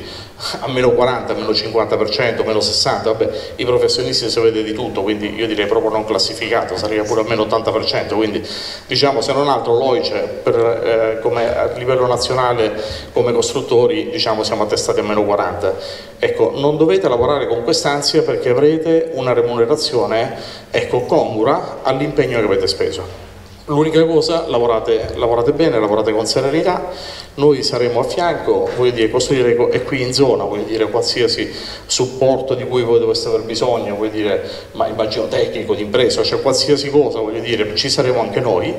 però ecco, sentitevi liberi, visto che siete una platea principalmente di professionisti, di progettare in libertà. Cioè, fate conto che sta venendo un privato e vi sta commissionando un progetto Lasciate stare super bonus, tutte le altre cose, queste sono cose che verranno dopo. Cioè voi dovete progettare con coscienza e progettare secondo le norme tecniche. Non c'è una questione fiscale in questo. Quindi ecco, sgombrate la mente dalla uh, interferenza di questi due concetti, che sono due concetti, vi assicuro, completamente separati. Poi ci sono gli adempimenti burocratici, come giustamente c'è il Presidente, insomma, asseverazioni o quant'altro, ma ecco, nulla che sia fuori dalla portata del vostro lavoro o del vostro ingegno. Quindi la cosa che vi posso dire è ecco, siate seri, perché come giustamente si diceva anche all'inizio, date le informazioni corrette. Se non avete le informazioni corrette, premuratevi di averne prima di darle, perché oggi c'è una confusione totale nel mercato, totale. Sono arrivate le banche, le banche hanno portato solamente confusione perché la gente ha pensato che andava in banca e gli davano i soldi, chiaramente non è così, cioè inutile che vi dica che la banca fa, fa un'operazione finanziaria, io non so se a qualcuno di voi è mai capitato che la banca abbia chiamato guarda ti voglio dare una cosa di soldi, se passi domani mattina ti do una cosa di soldi, ecco sfatiamo questo mito perché non c'è, le banche oggi, avete visto la pubblicità sicuramente delle major uh, company bancarie, Intesa, Unicredit, hanno fatto un prodotto finanziario. Cioè loro dicono, guarda caro cittadino, tu maturi il credito fiscale, quando hai finito tutto mi chiami e io lo acquisto. Cioè signori, non è arrivare alla fine della pratica. Cioè voi prima di arrivare ad aver concretizzato la gestione del credito c'è un mondo, ci sono un mondo di dichiarazioni, vi dico a scopo eh, simpatico di esperienza, vuol dire, fatta da Eni, nel 2000, penso fine 2016, primi 2017, hanno presentato 500 pratiche tipo all'Agenzia delle Entrate. Tenete presente, valutate da loro, dal loro ufficio tecnico, ne sono state rigettate 498 gliene, avrebbe gliene avrebbero approvate solamente due. Cioè tenete presente, questo non è il bonus mobili che tu tieni il bonifico parlante, cioè non è questo, cioè la procedura è, è, è complessa, per quello vi dico, cioè in questo caso noi ci presentiamo, ecco forse con il primo player italiano su questo settore, che sicuramente è Eni, voglio dire, che io non smetto mai di ringraziare perché all'inizio li ho un po' criticati, sono stati un po' lenti, però devo dire la verità, oggi sicuramente non hanno competitor sul mercato perché hanno creato un'organizzazione che consente a tutti quanti di operare in tranquillità. Cioè, un esempio, il verbale di assemblea condominiale lo predispone già Eni, l'amministratore di condominio non deve scrivere niente, c'è un pdf e deve compilare i campi. In modo tale che dire, tutta la documentazione che è stata stabilita e che è di gradimento dall'Agenzia delle Entrate sia già pronta, cioè quindi nessuno di voi si deve ammazzare a dire oddio mo che, che deve scrivere, che non deve scrivere. Non c'è problema perché tutto l'iter sarà praticamente standardizzato e procedurizzato. Quindi non vi preoccupate da questo punto di vista perché verrete affiancati e verrete portati per mano nell'iter documentale che non riguarda chiaramente la vostra fase né di progettazione né di direzione lavori né di quant'altro se non per la predisposizione delle carte che vanno poi date eh, ad Eni. Questo è grosso modo, penso, voglio dire, la, un po' l'introduzione, un po' quello che può essere un cappello di presentazione nostro. Sicuramente avremo modo di vederci più operativamente, voglio dire, non appena ci saranno anche degli elementi in più. Vi devo dire la verità, in questo momento c'è molta confusione sul 110, nella realtà anche presso eh, tutte le società, cioè in questo momento nessuno si è mosso su questa operazione voi avrete visto che l'Agenzia delle Entrate al momento è ancora in una veste di prima stesura, cioè quella che noi hanno dato a luglio è una prima stesura, tant'è vero che se avete letto bene il testo loro rimandano sempre a quando usciranno i decreti del Mise. Ora i decreti del Mise sono usciti, speriamo che l'Agenzia delle Entrate in un prossimo testo, voglio dire conclusivo, vada anche a dirimere tutti gli elementi di criticità e di conflitto che oggi ci sono, escono interpelli in conflitto con quello che ha detto la circolare, viceversa, quindi il 110 è una cosa nuova, eh, per molti versi sarà diverso dal vecchio 75-85, quindi c'è una biforcazione, stanno seguendo due strade differenti. Perché? Perché il, il legislatore ha il timore che sul 110 si facciano imbrogli non ha questo timore sulle operazioni dove i cittadini devono mettere la loro parte, che sono le operazioni con equity che si facevano prima del 75-85. Quindi questo è il motivo per il quale sul 110 stanno uscendo asseverazioni, congruità, il prezzo, il mica prezzo, le dichiarazioni. Cioè sono tutte cose volte a tentare di limitare il più possibile gli imbrogli. Non lo so se ci riusciranno, però diciamo, io penso che questo sia l'intervento del normatore. Io vi ringrazio, non vi voglio tediare oltre, passerei poi, vabbè, cioè, passo a lei che media la situazione e per qualsiasi cosa, ripeto, tanto siamo presenti in zona con persone di fiducia e quindi eh, null'altro, per qualsiasi altra cosa noi saremo sempre a fianco al partner locale. Grazie, grazie ancora a tutti.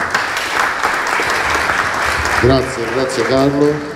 Io adesso passo la parola a, diciamo, a un'azienda leader, ma leader con la L maiuscola,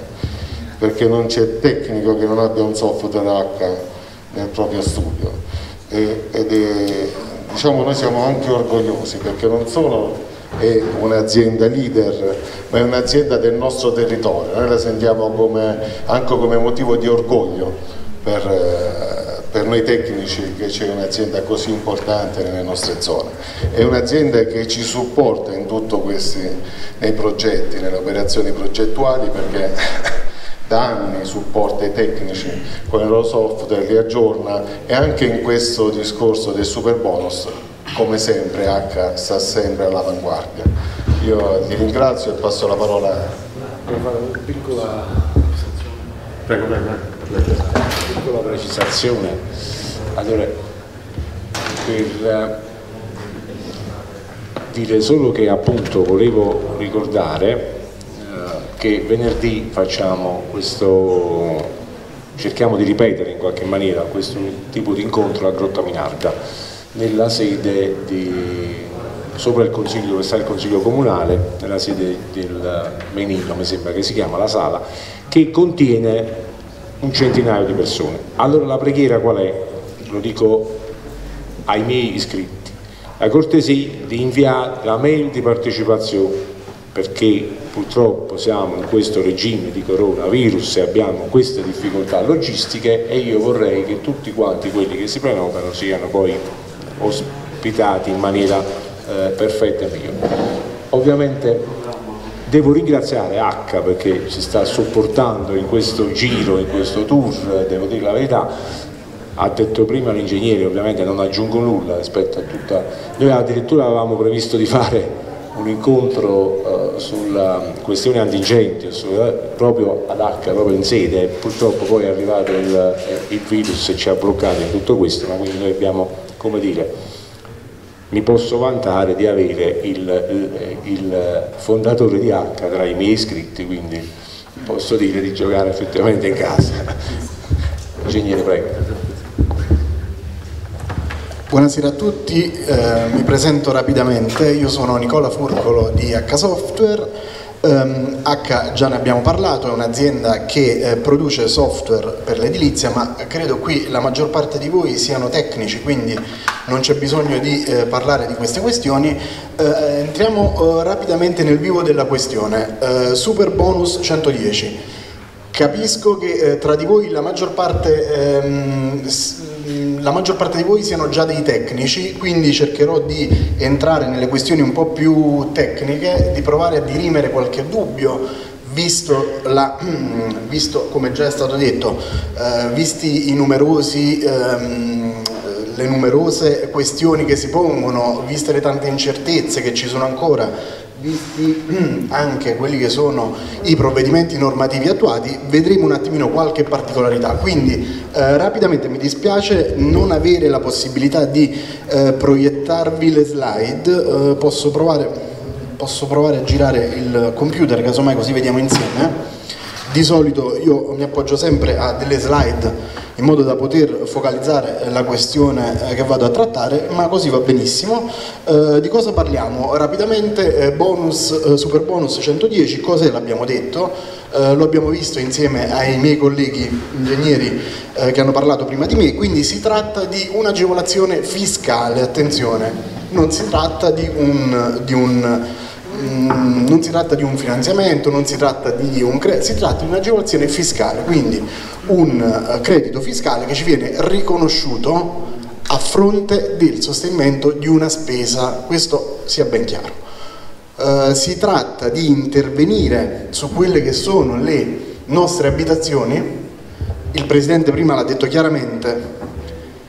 uh, questioni antisismiche, questioni energetiche, ne abbiamo parlato, attenzione l'importanza dell'efficientamento antisismico, spesso non ha senso andare ad accanirci su magari un rudere, su qualcosa che strutturalmente non sia già che non ci dia delle garanzie di sicurezza, immaginiamo al rudere, andiamo a pensare di fare l'isolamento termico sul rudere oppure sull'immobile che non dia garanzie in termini di, um, di eh, sicurezza antisismica a livello sismico. Ricordiamoci che ci troviamo in una zona sismica 2,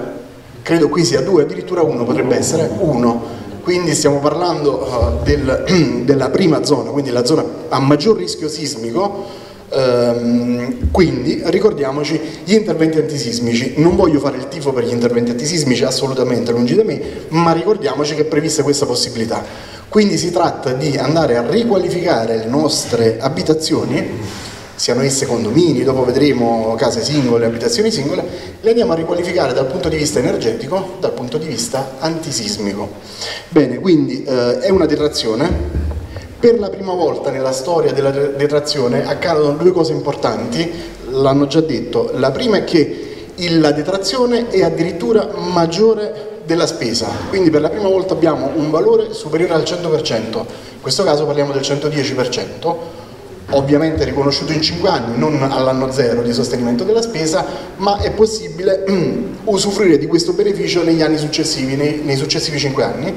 e um, quindi um, abbiamo detto la, la prima innovazione è, la prima novità è che si tratta di, un, di una detrazione maggiore del 100%, la seconda novità è che per la prima volta vengono tirate in ballo le banche. Tirando in ballo le banche, l'abbiamo visto prima, l'abbiamo capito, si crea in qualche modo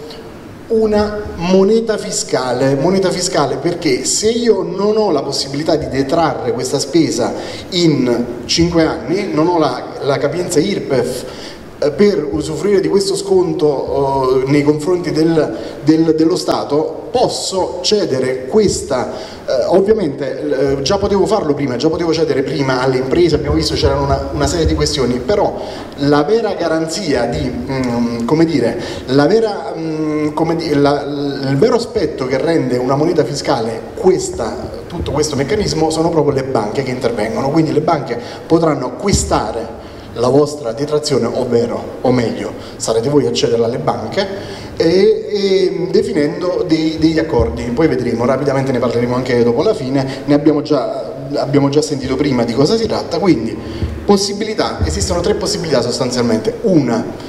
usufruire in maniera diretta del credito IRPEF, quindi ho la capacità, l'ha spiegato bene il collega prima di me, ho la capacità IRPEF, ho i soldi, quindi ho le, la, la, la disponibilità economica, finanziaria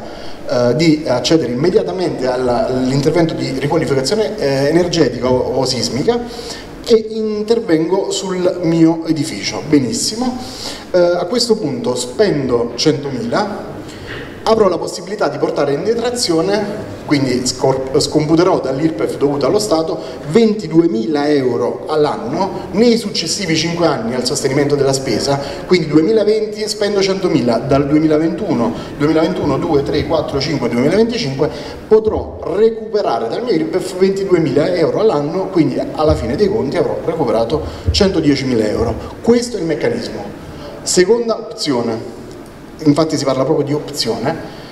il contribuente in particolar modo quello incapiente, colui che non abbia né la disponibilità economica o non abbia la disponibilità di una delle due, non ha disponibilità finanziaria, può pensare di cedere il suo credito, quindi opzione cessione del credito e si aprono due strade. La prima è quella di optare per un contributo in favore dell'impresa, o meglio, ricevere un contributo dall'impresa pari a uno sconto in fattura quindi cedo il credito all'impresa, l'impresa mi fa uno sconto in fattura fino a un massimo del 100%, questo significa che la fattura non può essere negativa, attenzione, quindi cederò 110% all'impresa, l'impresa mi sconterà in fattura il, il, fino al 100%, poi dipende dai ricordi miei e l'impresa, il, il valore dello sconto andrà da 0 a 100%, non può andare oltre, quindi cederò il 110%, poi sarà l'impresa che a sua volta potrà cederlo ad altre imprese, potrà cederlo a chiunque, anche alle banche, troverà altri accordi, potrà utilizzarlo direttamente come credito d'imposta, attenzione, quindi se per me un credito IRPEF nel momento in cui do per scontato che sappiamo cosa significa credito IRPEF e credito d'imposta, nel momento in cui lo cedo a qualcuno diventa un credito d'imposta, ok? Questa è una, una cosa importantissima. Benissimo, detto questo eh, abbiamo visto eh, la, la, questa è la seconda opzione, quindi impresa, terza opzione la cedo alle banche, banche per dire istituti di credito, eh, intermediari, finanziari, quindi la cedo alle banche. Ok, eh, poi ciascuna banca offrirà le proprie condizioni, se vogliamo alla fine ci rimane un po' di tempo potremo provare a, ad analizzarne qualcuna così a memoria e vedremo. Eh, rapidamente, siete tutti tecnici, abbiamo parlato della responsabilità dei tecnici, il Presidente e i colleghi hanno specificato che ciascuno di noi deve assumersi le proprie responsabilità, deve asseverare, ci sono tutta una serie di adempimenti in capo al tecnico ed è giusto che sia così, perché? Perché proprio eh, per il fatto che è stato detto il legislatore questa volta si deve premunire, o meglio, eh, per la prima volta abbiamo una detrazione così importante è chiaro che ci vogliono delle garanzie più forti rispetto a prima, ci vogliono le garanzie più forti, tant'è che è richiesto in caso di cessione non solo le diverse asseverazioni, ma è richiesto il visto di conformità, visto di conformità che dovrà essere apposto da un commercialista, da un esperto, da un, da un, da un CAF, da un, um, dal consulente del lavoro, eh, quindi da chi, può, da chi può apporre questo timbro, questo visto di conformità, che si farà da garante nei confronti dello Stato che il vostro credito, il credito dei vostri committenti, sia, che tutta la pratica sia ok e che ci siano i presupposti per poter cedere, per poter usufruire ecco, di questa. Di questa detrazione. Ebbene, eh, rapidamente, stiamo parlando di una questione tecnica, vi dico velocemente, eh, avete ricevuto una cartellina, all'interno c'è un flyer Um, lì c'è un, un, indirizzo www.h.it slash slides super bonus troverete queste slide, potete scaricarle direttamente da questa pagina dove potrete vedere, adesso andrò un po' veloce per questioni di tempo, eh, quindi potrete trovare tutti questi appunti che ho, creato, insomma che dovrebbero chiarire alcuni aspetti, alcuni aspetti importanti. Quindi rapidamente qui ci sono le norme che dovete conoscere perfettamente, quindi a partire dal DPR 380 fino ad arrivare al DPR 917 dell'86, quindi il testo unico per l'edilizia, attenzione all'articolo 16 bis, leggiamocelo bene, controlliamocelo, eh, teniamo presente i, ehm, quando parliamo di eh, eh, certificazione energetica, quindi di analisi energetica, asseverazione e tutto il resto, ricordiamoci i decreti del 2015, quindi stiamo parlando di eh, linee guida APE, eh, requisiti minimi e relazioni tecniche fondamentali per tutta una serie di discorsi che non so se faremo in tempo a vedere, ricordiamoci la questione del, mm, dell'asseverazione ehm, in caso di interventi antisismici, quindi eh, classe, le diverse classi di rischio sismico eh, e vedete bene che è uscito un nuovo decreto, questo lo sanno in pochi perché è uscito forse eh, immediatamente dopo eh, i decreti del Mise, stiamo parlando del Mise, sì, stiamo parlando del 10 agosto più o meno eh, che inserisce nuovi, le nuove asseverazioni per la classe di rischio sismico. È passato un po' in sordina questo decreto, sappiate che c'è, e introduce anche delle semplificazioni eh, e tra l'altro riporta anche la questione delle asseverazioni e, ehm, e il discorso dei, dei SAL, eh, casomai dopo lo vedremo rapidamente. Quindi ricordatevi che c'è, oltre al DM58 ehm, del 2017, quindi linee guida eh, eh, attestato di rischio sismico, c'è il nuovo decreto del 10 agosto. Ok, detto questo rapidamente, in cosa consiste? L'abbiamo visto, i beneficiari, ne abbiamo parlato prima, condomini in primis, condomini, quindi chiariamo subito una questione che è molto discussa, tra l'altro noi abbiamo fatto una pagina eh, con delle FAC, ci arrivano migliaia, non, non centinaia, migliaia di, eh, di, domande al giorno, non riusciamo a risponderle tutte, proviamo a dare una risposta a quelle più significative, quelle più importanti, eh, ci arrivano anche tante mail e abbiamo capito più o meno quali sono i dubbi maggiori dei tecnici. Eh, condominio, immaginiamo di avere un condominio eh, il beneficiario è condominio, quindi all'interno del condominio possono esserci unità immobiliari abitative, possono esserci unità immobiliari destinate ad altre questioni, immagino degli uffici, immagino dei negozi. Benissimo, quando il beneficiario il condominio, quindi stiamo parlando di spese su parti comuni, eh, i famosi interventi di cui al comma 1b e comma 1c dell'articolo 119, che prima sono stati elencati, abbiamo anche visto quali erano i limiti, quando si tratta di parti comuni non ci sono grossi problemi per le, anche per le persone, o meglio per le persone fisiche, anche se esercitano attività di impresa o arti o professioni, L'importante, ha chiarito le entrate, è che almeno il 50% della superficie, il 50% della superficie complessiva sia destinata ad abitazioni. Quindi che vuol dire? Immaginiamo condominio con 10 appartamenti, 2 uffici, un negozio vado a, a, fare un calcolo preciso delle superfici e mi, mi risulterà che il 70% della superficie complessiva dell'edificio è destinata ad abitazione, il 30% ad uffici, il 20% a negozi, benissimo, tutti e il condominio che ha diritto alla detrazione, il che significa che il negozio al piano terra potrà usufruire della detrazione al pari del titolare, de, del proprietario dell'abitazione all'ultimo piano, questo sia ben chiaro. Quali sono i problemi su questa cosa? È che se la superficie si riduce, la superficie abitativa si riduce al di sotto del 50%, su questo le entrate sono state chiare, vengono tagliati fuori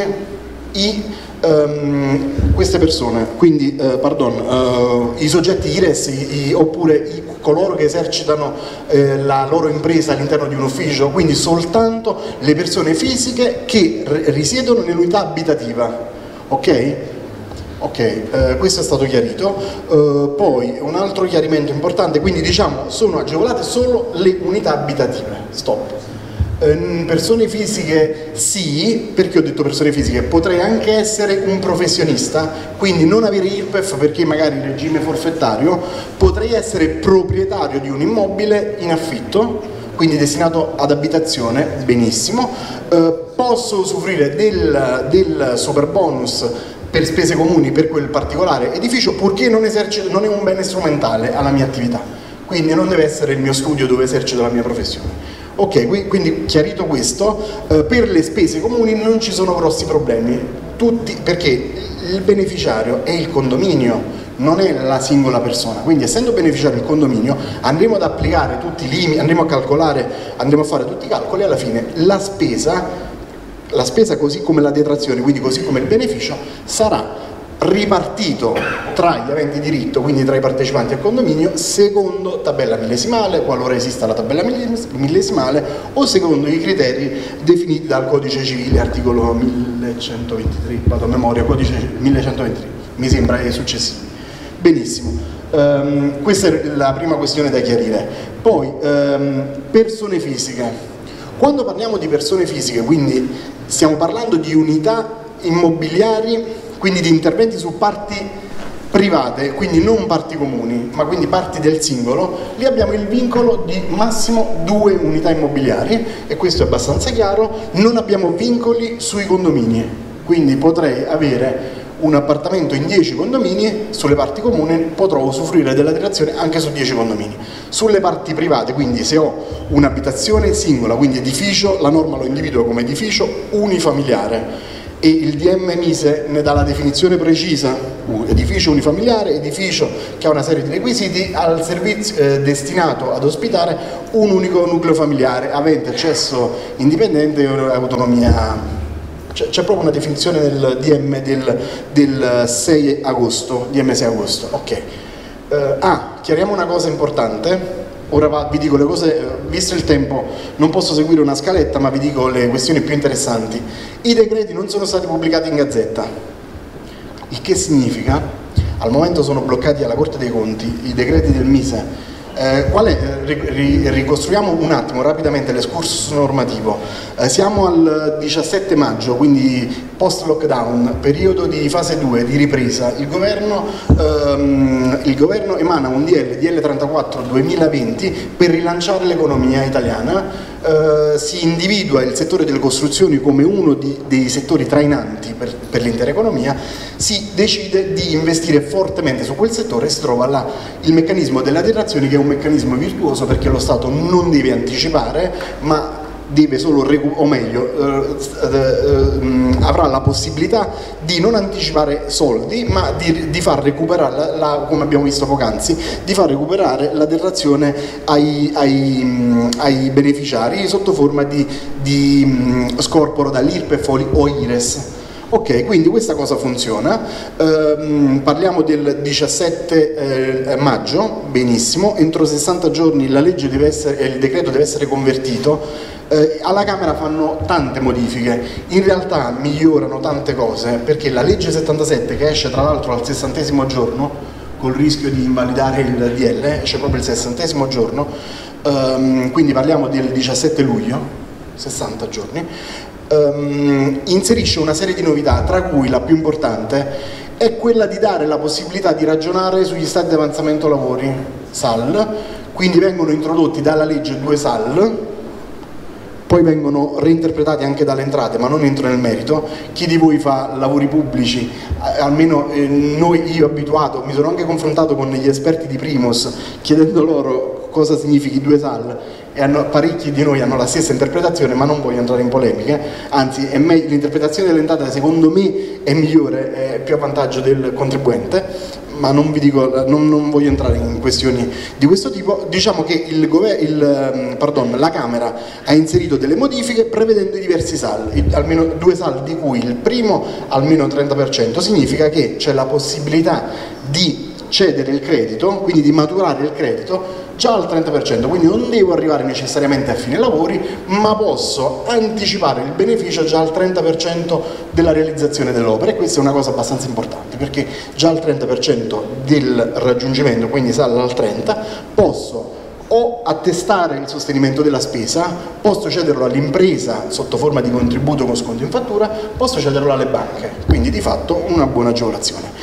Dopodiché cosa è successo? Lo stesso, uh, la stessa legge, quindi decreto rilancio, legge rilancio, legge 77-2020, uh, demandano al Mise l'emanazione di un decreto, poi sono diventati due, e eh, comunque alle entrate eh, di disciplinare la questione di cessione del credito. Quindi il Mise avrebbe dovuto specificare a livello tecnico quali erano le procedure da seguire e eh, il, le entrate a livello oh, procedurale amministrativo quali erano le procedure da seguire per la, per la cessione del credito. Cosa accade? I primi di agosto, quindi parliamo del 6 di agosto, eh, se non ricordo, no, ricordo bene, prima, è uscito prima il decreto Mise, il famoso decreto requisiti eco bonus, importantissimo perché Quel decreto non è definito, cioè non è stato um, emanato a seguito del, semplicemente della richiesta della legge 77, ma è un decreto che arriva dopo ben sette anni, perché se prendete questa, questa, questa norma è tra quelle che dovete ricordare benissimo, il DL 63 del 2013 che è quello che disciplina tutte le agevolazioni fiscali, fiscali articolo 14, in materia di, um, in materia di, di detrazione, um, di detrazione um, per riqualificazione energetica. E poi c'è anche all'articolo 16, se non ricordo male, tutta la parte sismica, quindi è quello che disciplina tutta la parte di detrazioni, era stesso quel decreto che, dema che eh, demandava al Mise di concerto con altri ministeri, l'emanazione di un documento tecnico, quindi di un decreto tecnico, che disciplinasse tutti i requisiti che dovevano soddisfare gli interventi che beneficiavano di detrazione. E ad oggi non era uscito, tant'è che ci trovavamo questi tanti non lo sapevano, ad oggi, fino ad oggi ci siamo trovati in un periodo transitorio dove andavamo a utilizzare il DM del 2007, febbraio 2007, una norma vecchia, perché dal 2013 ad oggi non era uscito questo famosissimo decreto. Il decreto è uscito e se vedete l'allegato A di questo decreto, la tabella A, pardon, sì, tabella presente all'allegato A, vedrete che non ci sono solo le, i lavori al 110%, quel decreto disciplina in maniera compiuta tutti gli interventi edilizi. Detrazione al 50, detrazione al 65, detrazione al 75, detrazione all'85, detrazione al 90, bonus facciate, detrazione al 110. Spero di non averle dimenticate, credo di no, ah c'è 70-80, ecco, 75, 85, 70, 75, 80, 85 e vengono disciplinate tutte. Quindi di fatto quel decreto non solo definisce i requisiti che devono avere tutti gli interventi, quindi vi invito ad andare a leggere quel decreto, tutti i requisiti che deve avere ciascun intervento, quindi ne abbiamo parlato prima, alcuni dovranno eh, prevedere il salto di due classi energetiche, quindi andrò a fare l'APE-PRE, APE-ANTE e APE-POST, dovrò attestare il salto due classi energetiche. Attenzione a come si legge la questione di salto due classi energetiche, qualcuno mi dice, grandissima sciocchezza, che lì c'è scritto qualora non è possibile eh, perché eh, la, la, classe è più alta, quello significa che ne dovete saltare due, se non è possibile, è solo un caso in cui non è possibile, vi trovate in A3, andate in A4, stop. Quindi non ci inventiamo che sia possibile una sola classe, non è possibile. Una classe solo se vado da 3 ad A4. Le classi energetiche vanno dalla G alla A4, quindi A1, 2, 3, A4 l'unica volta, l'unico passaggio di classe, l'unico salto che mi è consentito di 1 è quando salto dalla 3 alla 4 non è, non, non è quella questione, qualora non sia possibile il salto di una sola, attenzione, leggete bene quella questione, perché arrivano un sacco di domande su quella cosa,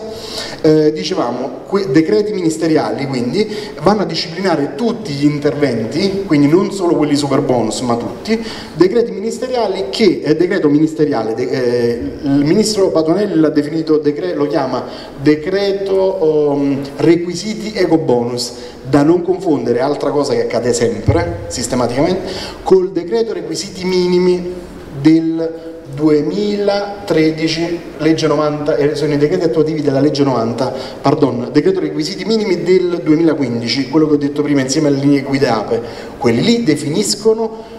la prestazione energetica dell'edificio, quindi stiamo parlando, per capirci, legge 10, vado a vedere l'involucro, quali sono i requisiti che deve soddisfare quel quel decreto vedo come si fa una certificazione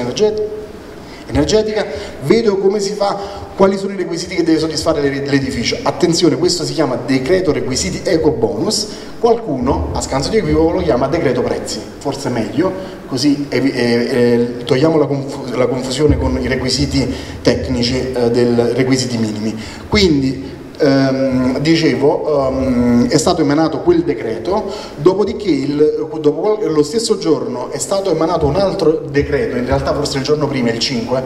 eh, il decreto asseverazioni. Decreto asseverazioni, ne avete sentito parlare diverse volte, decreto asseverazioni che disciplina le diverse asseverazioni in capo al progettista, al tecnico, dopo vedremo, ne parleremo se c'è tempo. Uh, do, dopo due giorni, quindi parliamo del um, 8 agosto, uh, viene fuori la, la, circolare delle entrate che disciplina una serie di cose, um, quindi circolare 24 del, o 12 forse, 8, non,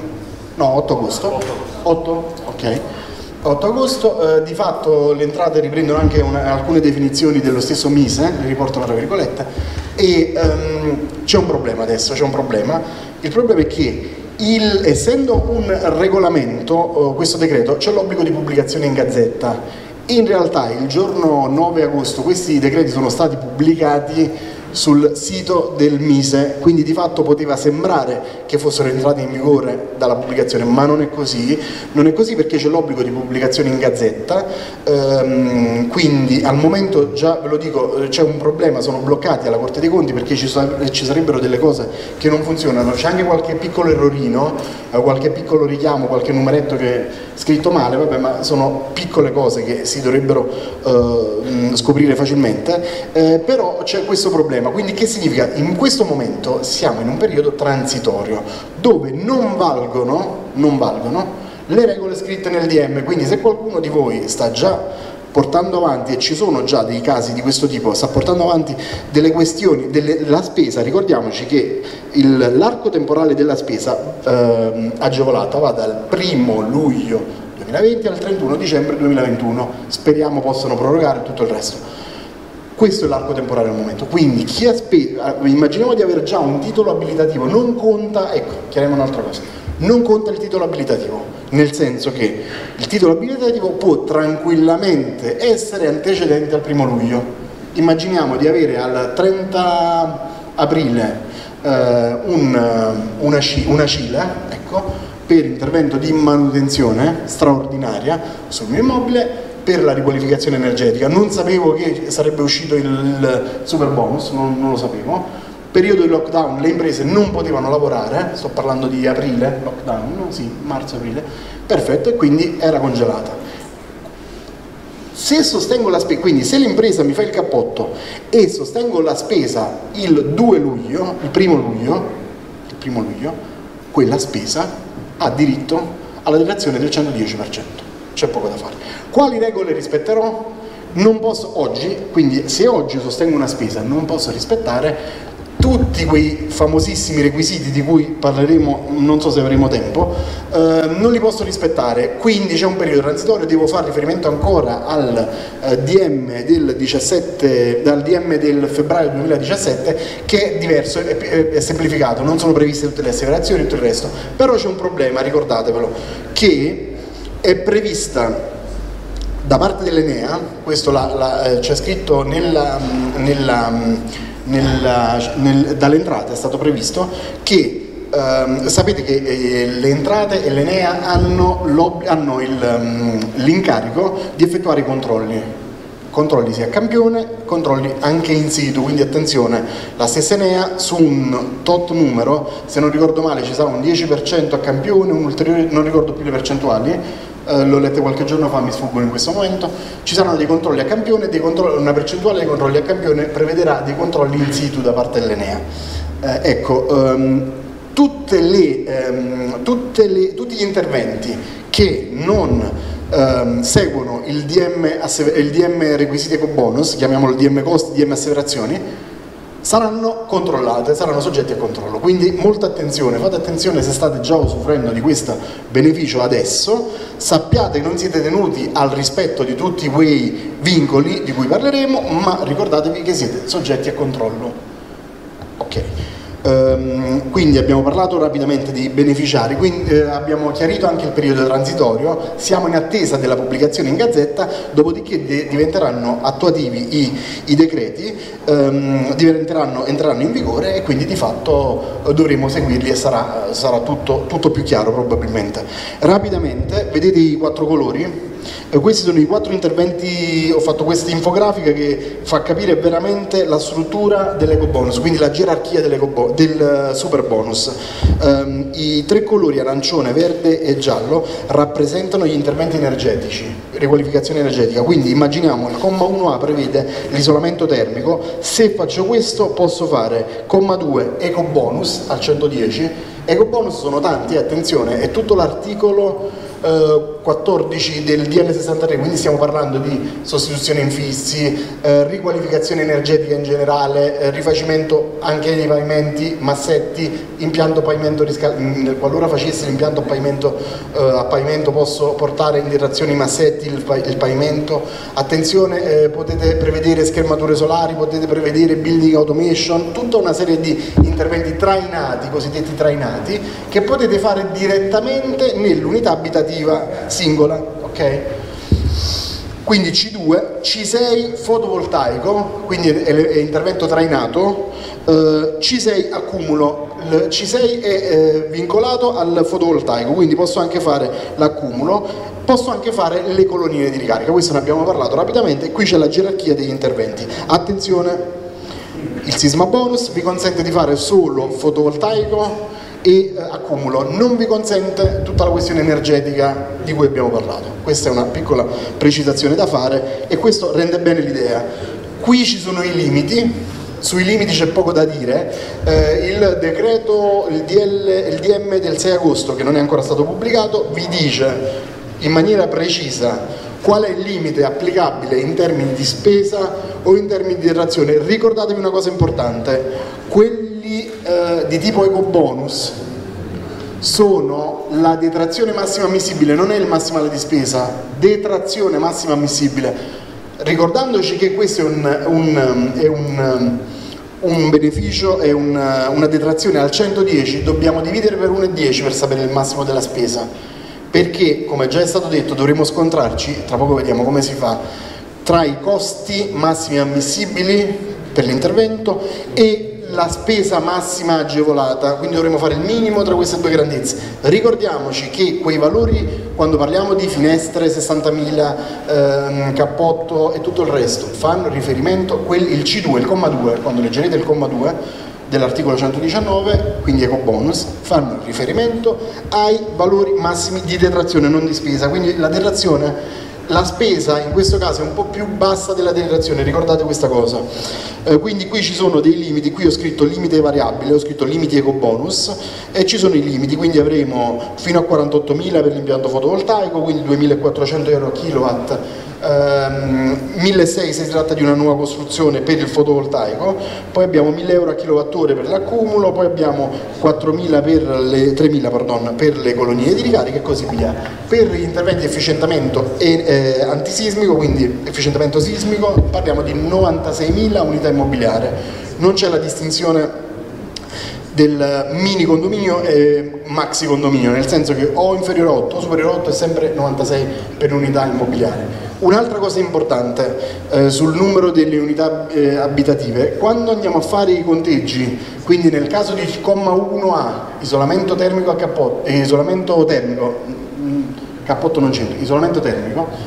eh, dell'involucro edilizio, che impegna almeno il 25% della superficie disperdente, in questo caso eh, le entrate l'hanno interpretata in questo modo, in maniera un po' più favorevole per il contribuente eh, hanno interpretato in questo modo. Le prime 8 vanno col limite di 40 le successive 8, leggendo la legge dice da, 8, da 9 in poi è 30, eh, loro dicono le, per, le, per, i condomini con più di 9, da 9 in poi, le prime 8 vanno comunque a 40, quindi è 320 più dalla 9 in poi applico la riduzione, quindi vanno a scaglioni non vanno per un, per un, um, per, con una moltiplicazione diretta, quindi con metodo proporzionale, vanno a scaglioni, un po' come si fa per l'IRPEF, insomma, a scaglioni. Quindi diciamo che la, la, spesa è un po' più elevata rispetto a una prima interpretazione che veniva data uh, applicando la, la, la, legge così, a una prima lettura. Ok, eh, quindi la stessa cosa anche per gli impianti, sono previsti 20.000 fino a 8, 15.000 dalla nona in poi, quindi fino a 8 160.000, dalla nona 160 più 15 per ogni unità immobiliare. Ok, ah, una cosa molto interessante, vorrei chiarirla, um, le persone ci chiedono molto spesso, molto molto spesso, come si calcolano le unità immobiliari, quindi ci tengo a chiarirlo perché è una cosa abbastanza chiara. Allora, le unità immobiliari in un condominio vanno intese, vanno computate singolarmente, quindi potrebbero essere abitative o non abitative. Quando un'unità immobiliare va considerata a sé stante? Quando ha autonomia reddituale di reddito, quindi quando è autonomamente accatastata. Quindi qualora un'unità un immobiliare sia una pertinenza dell'abitazione, quindi immagino C2, C6 o C7, e siano accatastate come pertinenza, quindi come, ehm, come unità di pertinenza di un altro immobile,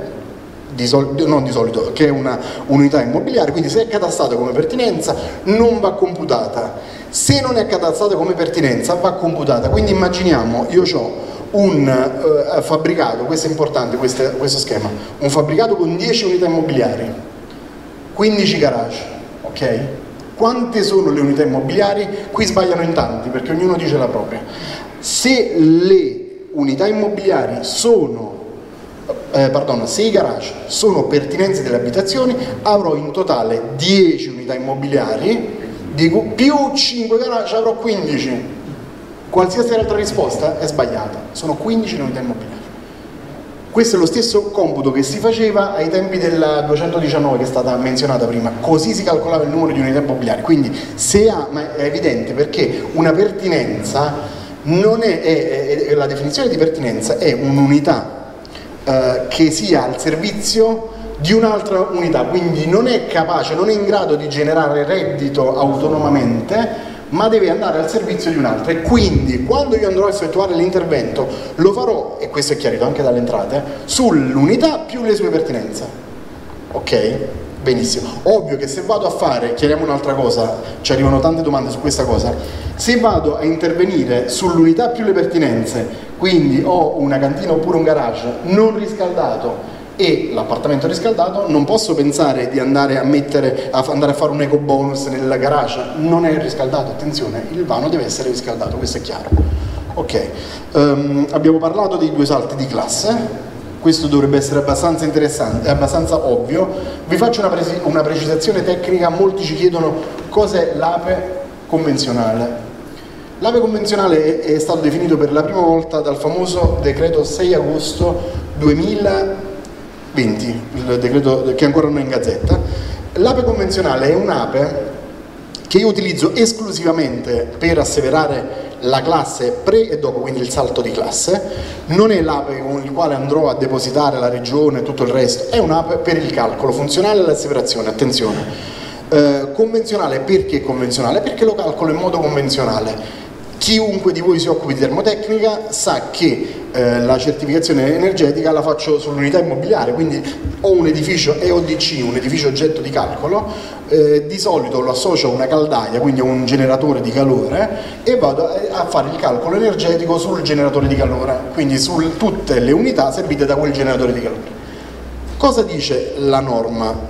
La norma vuole il salto di due classi, non per la singola unità immobiliare di Nicola Furcolo all'interno di un condominio, la norma vuole che l'intero fabbricato, l'intero non fabbricato, pardon, l'intero edificio, dove per edificio intendo tutto l'immobile, tutte, l'intero, dalle fondazioni fino alla copertura, quindi dell'intero edificio, quindi dovrò, tenere, dovrò portare in conto tutte le unità riscaldate. Come le porto in conto? Benissimo, ecco il concetto di ape convenzionale. L'ape convenzionale si calcola prendendo i valori di EPNR, quindi il valore da cui io tiro fuori quel numeretto, classe A, B, C, EPNR sulle eh, eh, RIF, ehm, quindi non rinnovabile RIF, l'energia, l'EPI, ehm, prendo questo valore di EPI, per un'unità immobiliare, lo confronto con la scala energetica e mi viene fuori un numero, classe A, classe B, classe C, benissimo. Levo il confronto con la classe, calcolo solo l'EPI di quell'unità immobiliare e vado a effettuare una media ponderata sulla superficie, che significa? Che prendo le n unità immobiliari riscaldate poi evidentemente dell'edificio, quindi n unità immobiliari. Prendo l'EPI dell'iesima unità immobiliare, quindi faccio la sommatoria per i che va da 1 ad n di EPI con i per S con i. E quindi ho il prodotto dell'EPI del singolo, della singola unità immobiliare eh, per la sua superficie e le sommo tutte quante, diviso la superficie totale. sto facendo una media pesata rispetto alla superficie dell'EPI globale di tutto l'involucro, di tutto l'edificio, non l'involucro, di tutto l'edificio. A questo punto mi verrà fuori un numeretto EPI, è un EPI medio, mediato sulla superficie, lo confronto con la scala energetica e ho ottenuto un APE. Tutto quello che vi sto spiegando, se avete Thermos troverete eh, l'EPI convenzionale, però almeno sapete che cos'è l'EPI convenzionale. Eh, no, l'APE convenzionale, l'EPI è l'indice di prestazione energetica. Ok, detto questo, abbiamo eh, chiarito questa cosa. Un'altra cosa molto importante, eh, la certificazione energetica, se vi ricordate, la certificazione energetica, l'APE, può essere fatta da un certificatore che per definizione è un soggetto estraneo alla progettazione, alla proprietà, alla direzione dei lavori, a tutto, estraneo, dichiarazione di indipendenza. È chiaro che qui sarebbe stato un casino creare questa cosa. Si sono inventati l'EPI convenzionale che può essere, ed è giusta questa cosa, che può essere rilasciato stesso dal direttore dei lavori, dal progettista, quindi direttamente dal tecnico incaricato, giusto, giustissimo, anche perché lo deve fare prima. Probabilmente non avrebbe dovuto chiamarlo APE, l'avrebbe dovuto chiamare, che già esiste, AQE chi di voi si occupa di certificazione energetica conosce l'attestato di qualificazione energetica, che è quello che il direttore dei lavori rilascia a, a, a, a lavori eseguiti. Ed è quello che bisognava, bisognava, bisognava, dargli il nome giusto e si evitavano tanti problemi, perché uno dei maggiori problemi che sono stati, ci sono stati all'inizio è come attesto tutto il casino della doppia classe. E poi ovviamente il decreto ha detto lo può fare direttamente. Immaginate che la, la, la, la classificazione energetica dove, dovesse essere attestata da una persona a lavori eseguiti quindi io spendo questi soldi non so ancora se avrò il salto di due classi, quindi fra, fra, un anno che avrò terminato i lavori saprò se ho diritto o meno al super bonus. Eh, era abbastanza grave, questa cosa ha destato grossi problemi, fortunatamente risolti dal DM. Un'altra cosa molto importante, immobili vincolati. Questa è un'altra novità della legge di conversione, il DL iniziale non prevedeva questa cosa, voi conoscete immobili, eh, il patrimonio immobiliare italiano, buona parte è soggetta a vincolo, si trova nei centri storici, ci sono dei regolamenti urbanistici severi che vietano anche di toccare la facciata, in zona, so, in zona paesaggistica dove ci sono i vincoli eh, è un casino, lo sapete meglio di me con la sovrintendenza, ottenere l'autorizzazione paesaggistica forse è una delle cose più complicate, fortunatamente eh, alla Camera hanno pensato di consentire gli interventi trainati, i famosi comma 2, quelli che vengono dopo i principali, perché i trainanti sono quelli sull'involucro o sulla sostituzione impianti, ma se non posso, per questioni di, ehm, di eh, vincolo di qualsiasi tipo, quindi previsto dal decreto legislativo del, del 2004, il codice dell'ambiente, o qualsiasi vincolo previsto da uh, regolamenti edilizi, in quel caso posso intervenire direttamente immaginiamo uh, soggetto, uh, immobile soggetto vincolo paesaggistico, sostituisco direttamente gli infissi. Benissimo. Attenzione, attenzione ai requisiti. Anche in questi casi dove non intervengo sull'involucro, comunque non viene fatto lo sconto della classificazione energetica, nel senso che um, bisogna sempre perseguire l'obiettivo finale che è quello del miglioramento energetico, quindi ti consento di intervenire anche sui, sui, con gli interventi trainati senza i trainanti, ma attenzione ai requisiti, i famosi requisiti del decreto 6 agosto, quindi andiamoceli a vedere, stanno, sono previsti all'articolo 2, articolo 2 sono previsti tutti gli interventi, nella tabella che trovate alla fine, eh, no pardon, nell'allegato 1 ci sono tutti i requisiti, cioè ogni intervento soggetto a una certa, um, oggetto di una certa detrazione deve soddisfare dei requisiti. Ok, esempio, eh, questa è un'altra cosa interessante. Se io sostituisco solo gli infissi, non è necessaria l'asseverazione, ma posso sostituire, no posso, devo perché sennò non ci riuscirei, sostituisco l'asseverazione con una dichiarazione del fornitore o del produttore, quindi dell'installatore o del fornitore. In questo caso però nasce un nuovo obbligo, quella famosa tabella I che è stata menzionata prima, i costi parametrizzati quindi a metro quadro se si tratta di un infisso, a metro quadro se si tratta del, del, del cappotto, eh, piuttosto che i kilowatt termici della, della, della, centrale, della pompa di calore. Quindi attenzione, quell'allegato serve in due condizioni è fondamentale. Uno, se l'asseverazione non è obbligatoria per quella tipologia di intervento e devo, quindi vi andate a vedere quali sono quelle obbligatorie e dove non è obbligatoria l'asseverazione, se non è obbligatoria l'asseverazione avete l'ulteriore obbligo di sottostare a quella tabella, quelli sono i massimali qui potremmo parlare anche di una serie di polemiche su quel numeretto, i, i famosi 650 che dicevamo prima, che incentivano magari una tipologia di infisso e ne disincentivano un'altra, questo è vero.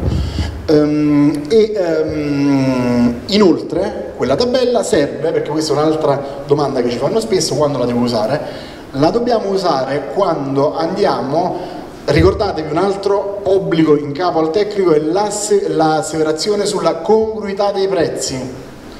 per la prima volta siete chiamati a rispondere insieme al commercialista che metterà il visto di conformità, siete chiamati voi a rispondere sul prezzo di quell'intervento. Come lo calcolerete? È già stato detto, prezzario campagna se mi trovo in campagna, prezzario Puglia se mi trovo in Puglia. Per risolvere il problema, il problema è che alcune regioni sono virtuose in quanto all'emanazione di prezzari regionali, altre molto scadenti, non facciamo nomi, non facciamo cognomi, ehm, il Ministro ha previsto la possibilità di utilizzare un prezzario unico nazionale, il prezzario DEI, DEI che ha diversi prezzari, quindi ha eh, ristrutturazioni, impianti tecnologici, ha diversi, diversi prezzari, si chiamano prezzi informativi dell'edilizia, posso utilizzarli. Qualcuno mi chiede, posso utilizzarlo indipendentemente, scelgo io? La risposta è sì leggendo il DM 6, 6, 6 agosto, dice posso utilizzare quello o in alternativa quell'altro. Quindi scegliete voi il prezzario, quale scelgo dei due? Scegli quello che ti fa più comodo, probabilmente quello dei è un po' più alto rispetto a mm, ovvio, qualcuno dice da vedere, eh, dipende dalla singola voce, scelgo un prezzario. A quel punto fatta la scelta a monte del prezzario da utilizzare, è ovvio che è interessante anche capire le differenze e mi sono ripromesso anche di fare un approfondimento, un webinar proprio su, su prezzari, capire un attimo le differenze così a titolo di curiosità. Ehm, sicuramente interessante per molti perché è chiaro che potrei pensare di andare dove, dove è più conveniente, ora conveniente è da capire se è più caro o meno caro, io dico conveniente. Ehm, quindi dovrei capire quale prezzario usare, qualora nel prezzario non ci fosse il prezzo di riferimento è allora lì che devo fare la famosa analisi prezzi, il decreto dice devi calcolarmelo in maniera analitica, poi me lo asseveri, metti un timbro, me lo asseveri, lo alleghi all'asseverazione che poi spedire all'Enea. In quel caso posso, non devo, posso, c'è scritto posso, utilizzare i famosi massimali dell'allegato I, quello di cui parlavamo, i 650 euro a metro quadro dell'infisso, se metto la schermatura diventano 7,50, vado a memoria, non me li ricordo, e così via. Um, è una, è, una, è una, possibilità, non c'è l'obbligo di utilizzarlo, posso, altrimenti lo calcolo per via uh, analitica, quindi faccio l'analisi dei prezzi con le voci elementari, e il, così come sappiamo già fare. Um, rapidamente, questa è una cosa molto importante, questa, il caminetto. Um, Fortunatamente qualche mese fa è uscito il decreto legislativo 48-2020 eh, che recepisce eh, una um, direttiva europea sul, um, su tutta una serie di questioni abbastanza pesanti, non entro nel merito, comunque questo decreto legislativo già in vigore fornisce la nuova definizione di impianto termico che cos'è un impianto termico? Vado a memoria, potrei leggerlo, è un impianto destinato alla produzione di calore, bla bla bla, deve essere anche acqua calda sanitaria e così via. Una cosa molto importante è che se lo leggete tutto è scomparso il limite della potenza e vi dirò di più. Prima, fino a 5-6 anni fa, c'erano 15 kW, poi da 5-6 anni erano diventati 5, per la prima volta scompare il limite di potenza, perché prima era previsto, fino a un mese fa, fino a qualche mese fa, era previsto che la somma dei focolai, quindi la somma dei, dei dispositivi fissi, attenzione, e, e, rimane ancora, ci deve essere un camino, eh, ma non può essere una stufa removibile, quindi deve essere fisso l'impianto, va benissimo un camino, la somma dei diversi camini doveva essere di almeno 5 kW questo limite è stato superato, quindi oggi è sufficiente dimostrare eh, di avere un camino per dire che l'edificio è dotato di, di che l'unità immobiliare è dotata di impianto di riscaldamento. Ricordatevi che l'impianto di riscaldamento è fondamentale per, eh, per, um, per l'eco bonus, altrimenti non potrei, per super eco bonus, altrimenti non potrei procedere. Okay? per l'ecobonus in generale, perché ovviamente l'ambiente deve essere riscaldato, l'unità immobiliare. Ok, eh, sismo bonus rapidamente, ah, chiariamo un'altra problematica la zona, dove si prende la zona 4? Se vi leggete eh, il, la zona, tu, tu, le tre zone, zona 1, zona 2, zona 3, oggi sono agevolate tutte e tre, eh, la 4 no, sono pochi edifici in zona 4, parte della Puglia, la Sardegna e parte dell'Italia settentrionale, quindi la zona 4 è quella, non, chiamiamola così, non sismica, o meglio, dove il rischio sismico è molto più basso rispetto alle altre. Ehm, ecco, se leggete i vari testi si parlerà della famosa OP, ehm, OPCM, OPCM 3274 del 2003 e questo è quello che ha definito le zone sismiche, tutta la famosissima. Eh, esatto. Eh, ora, ehm, tenete presente che st la stessa protezione civile ha aggiornato questi valori e sono, eh, alcune zone eh, sono, sono, passate dalla 4 alla 3 e quindi ora possono usufruire, ci sono diversi comuni in Italia, quindi facciamo riferimento a, qui c'è un link, a un link sulla protezione civile che porta la situazione aggiornata, parecchi si chiedono, devo fare riferimento a quel a, quel, a, quella classificazione dell'OPCM risalente a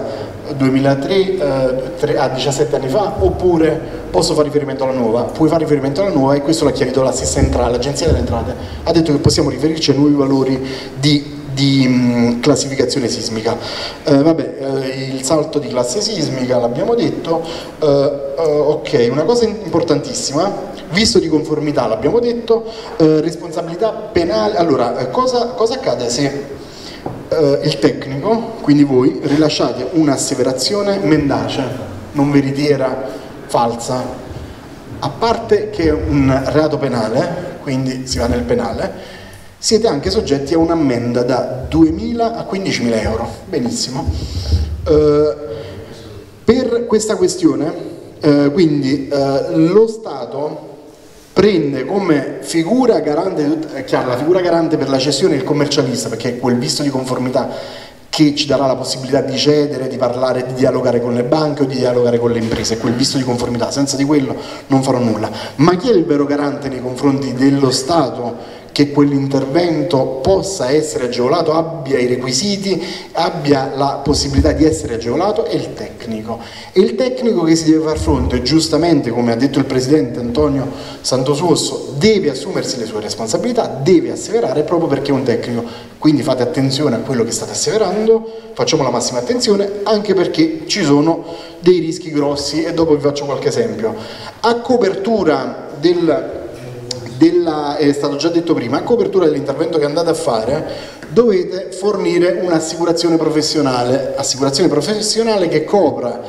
un massimale di almeno 500.000 euro in caso di, di, um, di, di dichiarazioni mendate. Ecco, a questo punto dovrebbe, potremmo parlare della questione assicurazioni professionali. Tenete presente che le all risk coprono tutti i rischi. Uh, anche la questione del, dei, dei postumi, mi sembra quella per i dieci anni, mi sembra sia prevista. Vabbè, vedete bene la questione del risk, perché in quel caso non è onere vostro andare a, um, come dire, andare a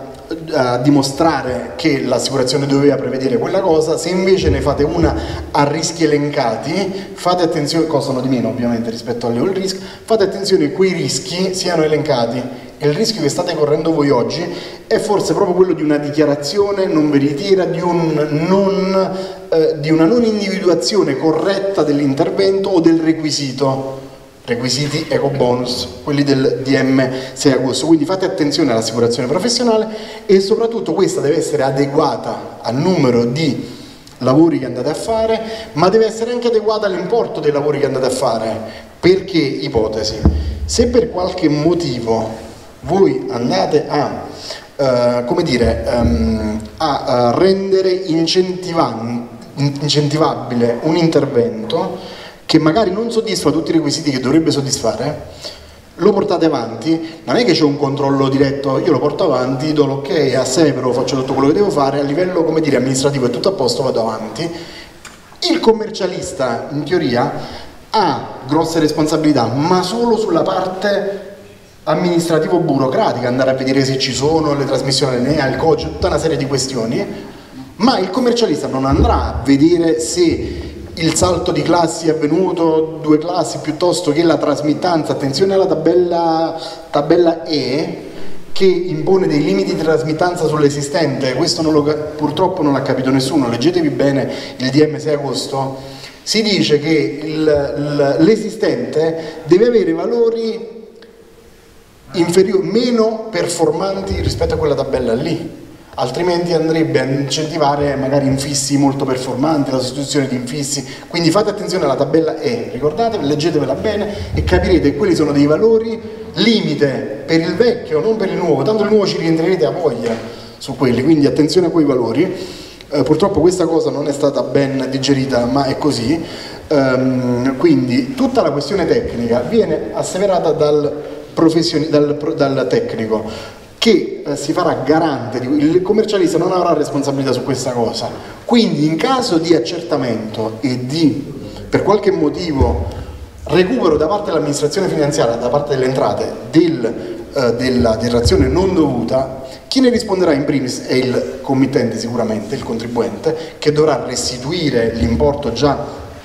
la, la, il beneficio di cui ha usufruito con interessi, sanzioni e tutto il resto, ma ovviamente lui avrà dal canto suo un'assicurazione professionale, quindi sarete voi che dovrete coprire. Ovviamente c'è tutto il discorso della responsabilità solidale quando, quando si ravveda dolo o tutto il resto, ma immaginiamo se l'impresa a cui abbiamo ceduto il credito in buona fede non sa che lì c'era qualcosa che, non, che non, non funziona, ovviamente l'impresa non perde il beneficio al credito, sarà il contribuente che dovrà risarcire l'amministrazione finanziaria e poi il contribuente si rifarà sul tecnico, quindi responsabilità fondamentale in capo al tecnico. Questo meccanismo dovrebbe essere abbastanza chiaro.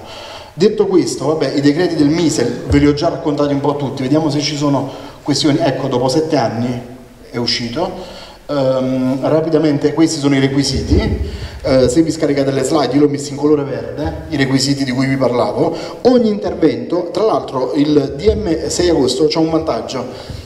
a prima lettura sembra una complicazione, in realtà lo è, la prima volta che l'ho letto mi sono spaventato perché inserisce una nuova nomenclatura, quindi un nuovo articolo 5, quindi nuova nomenclatura, come se non bastasse il DL63 e tutto il resto, però di fatto alla fine è un vantaggio perché potrò riferirmi direttamente senza andare a scomodare 100.000 riferimenti normativi, mi, riferisco direttamente a questo e ho una nomenclatura lettera I, eh, 1, 2, 3, quindi lettera A, B, C, D e così via, li trovate qui direttamente, sono anche interventi abbastanza eh, chiari, quindi sono esplicitati in maniera abbastanza chiara, quindi lo trovo di assoluta utilità. Inizialmente quando l'ho visto la prima volta non vi nego che un po' mi, mi fece spaventare. Eh, vabbè, qui c'è la, tabella, la tavola sinottica di massimali,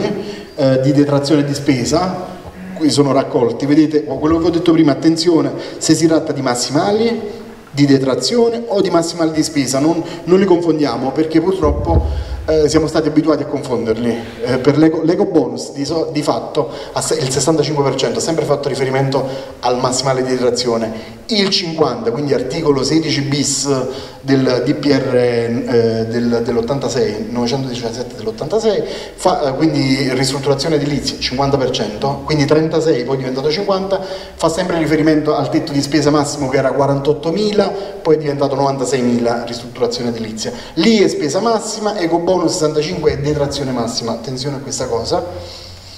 Poi um, spese incentivate, oh, un'altra questione, le spese del, del tecnico sono incentivate? La risposta è sì. Attenzione, il DL, eh, quindi la legge, il DL 34 e la legge di conversione, prevedevano espressamente il riconoscimento delle spese tecniche per le asseverazioni e per il visto di, conformi, di conformità, esatto, asseverazione e visto di conformità, quindi tecnico e commercialista. Fortunatamente per noi tecnici il decreto Mise è intervenuto sulla questione, ha chiarito univocamente che sono agevolate al 110% anche tutte le altre spese connesse con la realizzazione dell'intervento. Prima questa cosa non era chiara non era chiara. Io l'avevo ipotizzata eh, un, quando ancora non c'era il Mise, fortunatamente è stato così, eh, di fatto ha individuato tutte le spese connesse anche con la realizzazione, quindi direzione lavori, non solo le entrate, nella circolare 24 parlano di tutte le, le spese, anche le, le, le, valutazioni preliminari e tutto il resto, quindi è tutto agevolato al 110%. Come si calcolano queste, queste, queste spese? E qui c'è un altro problema. Inizialmente su, sulla bozza di questo decreto che abbiamo letto di, gli ultimi giorni di luglio, quella prima del 6, si parlava della possibilità di utilizzare una doppia, um, si parlava o del, delle parcelle, delle vecchie parcelle professionali del 93, non mi ricordo più, 93 sì, eh, incrementate del 30, oppure legge lavori pubblici um, eh, DM 17 giugno del 2016, quindi parliamo dei parametri bis. Fortunatamente per i tecnici le spese professionali si calcolano secondo il DM parametri, eh, parametri eh, bis che determina eh, i corrispettivi eh, per le spese professionali da porre a base di gara e dice anche che sono i massimi previste da quel decreto. Quindi il tecnico potrà fare la sua parcella, il suo compenso professionale facendo riferimento al DM parametri bis, quindi tutto ciò che è connesso, eh, relazione, eh, um, aiutatemi, eh, studio di ehm, Bravo, fattibilità, chiamiamolo preliminare, eh, progetto preliminare, progetto definitivo, progetto esecutivo, quindi andrò sui tre livelli, andrò a mettere relazione architettonica, vedete, e provate a fare un calcolo, c'è proprio un esempio del CNI, il Consiglio Nazionale dell'Ordine, e vedrete che gli importi sono ben più alti di quelli che ci aspetteremmo, quindi di fatto questo è un altro vantaggio per il tecnico. Chiariamo una cosa però, attenzione, No, no, sono, sono, sono, sono, elevati, anche perché quelli vanno posti a base di gara, prima parlavamo di ribassi, abbiamo parlato, di solito vengono ribassati notevolmente, quelli sono i servizi di ingegneria e architettura soggetti a ribasso, lì le prendiamo al valore nominale, quindi sono molto interessanti. Um, altra cosa di interesse è che eh, mi era venuto in mente ma mi sono dimenticato, um, un'altra questione che ci chiede, ah ecco, un'altra questione importantissima è stata detta prima, e ricordiamocela, i valori, tetti di spesa di cui abbiamo parlato prima sono comprensivi di IVA se non che cioè, immaginate che questa è la fattura che dovrà, quando, quando parlo della spesa in, ca, in capo al, al, contribuente, deve essere per forza comprensiva di IVA perché è quel, il famoso bonifico parlante, se volete ne parliamo anche un attimo, il famoso bonifico parlante mette l'importo comprensivo di IVA e il bonifico che io vado a fare a fronte di una fattura e la fattura è sempre IVA inclusa, quindi quelle, quegli importi lì di cui abbiamo parlato, che troverete in quella tabella, sono IVA inclusa e spese incluse, professionali incluse, perché questa cosa ha creato un po' di, di disguidi. Io stesso all'inizio pensavo che per qualche motivo potessero non essere incluse, ma di fatto nel decreto asseverazioni e... Dove c'è scritto questo? Allora, attenzione, attenzione. Nella vecchia tabella c'è scritto al netto dell'IVA è una tabella della bozza del decreto di... Ah, ah, ma ora di che stiamo parlando, mi scusi? Dell'allegato I, Mise, e non, non, non, confondiamo le cose, quella è un'altra cosa. Al netto dell'IVA sono le spese, allegato I, vi ho spiegato prima, l'allegato I a che serve? Serve solo in due casi, e quello nella prima formulazione era l'ordo dell'IVA, adesso è il netto dell'IVA. Io adesso vi sto parlando delle spese incentivabili, cioè la tabella allegato A, prendete l'allegato A, lei sta parlando dell'allegato I, L'allegato I fortunatamente, fortunatamente i famosi 650 euro a metro quadro degli infissi sono IVA escluse e vi dico anche il perché. Perché sappiamo bene che quei parecchi di quelli, tipo gli infissi, sono dei beni finiti che spesso in un contratto di, di, di eh, in un intervento di manutenzione straordinaria si applicano anche, eh, immaginiamo la sostituzione degli infissi, l'IVA la vado, non è neanche standard perché è, è, agevolata fino al raggiungimento esatto, può andare al 10 o al 22, o dipende dalle condizioni, quindi è variabile. E, e, comunque lì ci sono tutta una serie di problemi e quei valori se fossero stati anche IVA inclusi veramente sarebbero stati limitativi al massimo quella tabella lì c'è scritto al netto di spese di posa in opera, di installazione e di IVA. E confermo che è così. Io sto parlando adesso dei massimali di spesa dell'intervento che nulla hanno a che vedere con quella tabella, lo ribadisco, quella tabella serve solo se non c'è la necessità delle asseverazioni, quella tabella, o serve solo quando faccio l'analisi prezzi di quello che sto parlando adesso,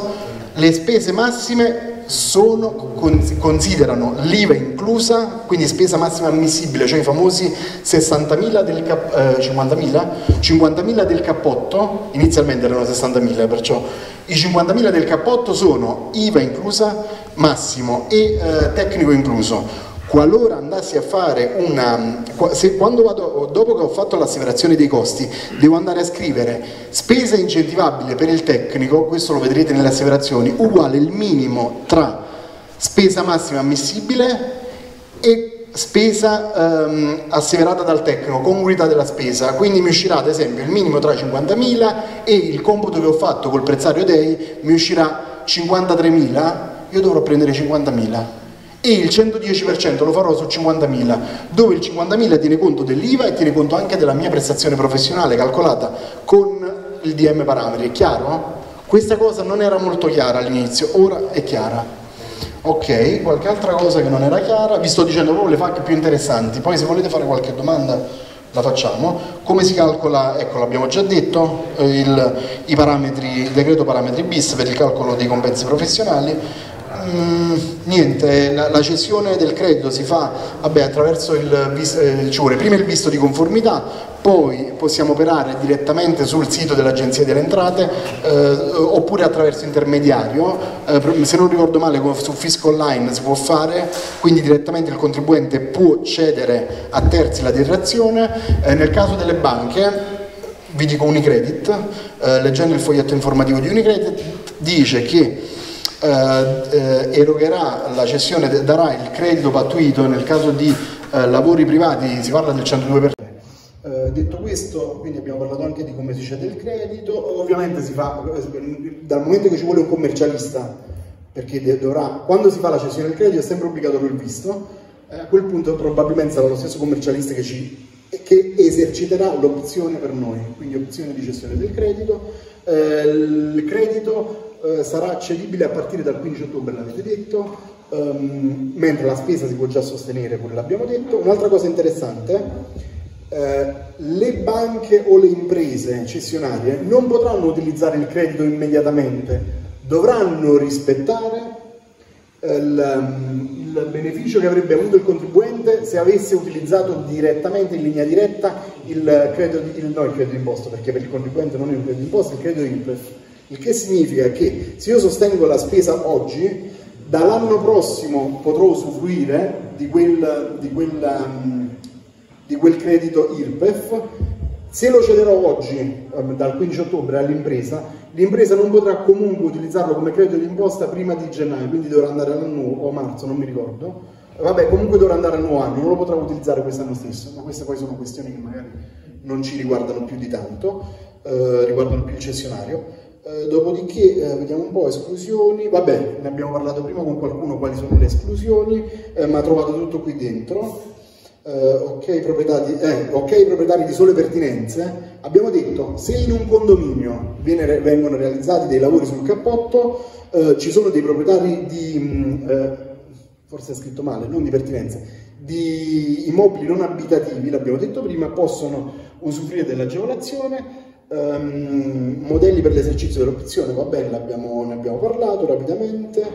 E... Ah, una cosa interessantissima e chiudo. Um, condominio.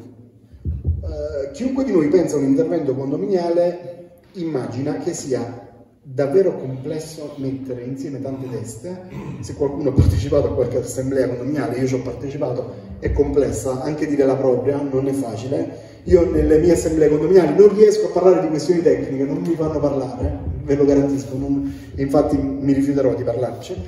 Um, è complesso. Fortunatamente ci sono due condizioni. Numero uno, la legge 10 del 91, la conoscete tutti, dispersioni tecniche, prevedeva già che nelle questioni condominiali, quando esisteva famoso, la famosa eh, diagnosi energetica, quindi quando c'era un documento scritto, un'analisi sull'esistente, per le maggioranze in assemblea non era necessario né maggioranza qualificata né il 50, ma si riduceva il valore dei millesimi al 30, al, a un terzo. Quindi già prima era così, eh, in pratica se c'è una certificazione energetica, una diagnosi energetica, un documento tecnico che attesta lo stato di fatto dell'immobile prima, al momento, quindi se io vado oggi all'assemblea condominiale del mio condominio e porto un documento tecnico, un'analisi, una diagnosi energetica dove metto in evidenza tutti i possibili interventi, quali sono, tutta una serie di questioni, faccio anche una prospezione su un ipotetico salto energetico, tutta una serie di considerazioni, lo porto in assemblea, eh, è sufficiente una maggioranza di un terzo dei millesimi e la maggioranza dei presenti. La pianificazione energetica del condominio? La diagnosi energetica. La diagnosi energetica prima? Sì. Eh, non, è neanche, guarda, non è neanche necessario che tu la porti in assemblea. Potresti dire che è oggetto di diagnosi energetica e dalla diagnosi energetica si evincerà che quell'intervento darà, magari la fai in un secondo momento, perché mi immagino che sia anche fare una sorta di ape, tu potresti fare l'ape pre dell'intero edificio, fai un'ape convenzionale e dici che si trova in classe G, eh, magari dai anche le indicazioni, quelle famose indicazioni che tu inserisci nell'ape, incrementa comma 344, 345, 346 che vai a inserire nel, nell'ape, o magari l'installazione di pannelli fotovoltaici o solare termico, quelle famose raccomandazioni si chiamano, che stanno alla fine dell'ape, potresti inserirle lì, portarle in assemblea. È chiaro che potresti anche impegnarti a farlo dopo, perché fare questa cosa ti comporta un sopralluogo. Facciamo le cose fatte bene, l'ape non lo facciamo sulle piante catastali, ok? Facciamolo prendendo le misure, andiamo in, cioè facciamo le cose fatte bene, prendiamoci le responsabilità, ma facciamole bene, quindi andiamo in logo, prendiamo le misure, assicuriamoci della qualità degli infissi. Non posso immaginare, o l'ho visto, l'ho visto, eh, fare ape sui catastali, non, non è pensabile. C'è un obbligo di sopralluogo, lo dichiaro nell'ape stessa, facciamo le cose fatte bene. Ma l'ape convenzionale sì. supera oltre alla dichiarazione di indipendenza anche il rapporto di parentela? di questo non se ne parla, non se ne parla da nessuna parte. Quindi non c'è, tanto nel momento in cui prendo la responsabilità di quell'asseverazione, potrei anche essere mio cugino, non è prevista da nessuna parte. Nel momento in cui posso affidare l'incarico, l'incarico tecnico, quindi di progettazione a mio cugino, o la direzione lavori a mio cugino, è chiaro, non la farei io stesso, quello è quarto grado ma il certificatore energetico. Viene meno anche perché l'ape convenzionale, quindi l'ape per, per l'attestazione del salto, viene rilasciata sotto forma di mh, dichiarazione sostitutiva di atto notorio. Quindi anche lì ci sono delle questioni penali lì dentro, quindi non la, non la, non la dichiari come, semplice, come, un semplice documento, ma viene rilasciato sotto forma di dichiarazione sostitutiva di atto notorio, DPR 445 del 2000 quindi bisogna fare attenzione anche a questo. Quindi non è più previsto non c'è specificato da nessuna parte mentre per il certificazione non ne sarei così sicuro perché potendo io fare la direzione lavori per mio cugino potendola fare il direttore dei lavori può, può fare l'attestato di prestazione energetica quindi di conseguenza credo che non sia, non sia escluso non c'è, non, non, è prevista, a differenza del, dell'AVE tradizionale dove è prevista. Uh, nel caso del, sì. dell'ingegnere, amministratore di condominio, può fare tutto, l'amministratore di condominio, sempre Immaginerei proprio di sì. Non vedo... Non c'è incompatibilità. Non c'è incompatibilità, no, non, non credo che sia espressa da nessuna parte l'incompatibilità. Anzi, l'amministratore ne parlava abbastanza, prendere il suo compenso per il lavoro extra, se previsto dal contratto che ha, 2%, non dipende più perché dovrà fare tutta una serie di, di questioni, dovrà in più dovrà fornire una serie di documenti. Dovrà fornire una, giustamente, è chiaro. Non mi risulta, eh, non l'ho mai sentito. Non l'ho mai sentito, non ho mai sentito questioni conflittuali tra amministratore di condominio e progettista. No, perché l'amministratore di EFA, il progettista, a sé, a sé la corporazionale, il Sì, va bene. Sì, non mi sembra ci siano Solo forse la, la vista di conformità non lo può fare, non lo può mettere, però il resto in teoria può fare tutto, sì. Assomiglia tutto. Ci sono, eh sì. Dicevo, nel caso di cappotto e sostituzione di infissi, sì.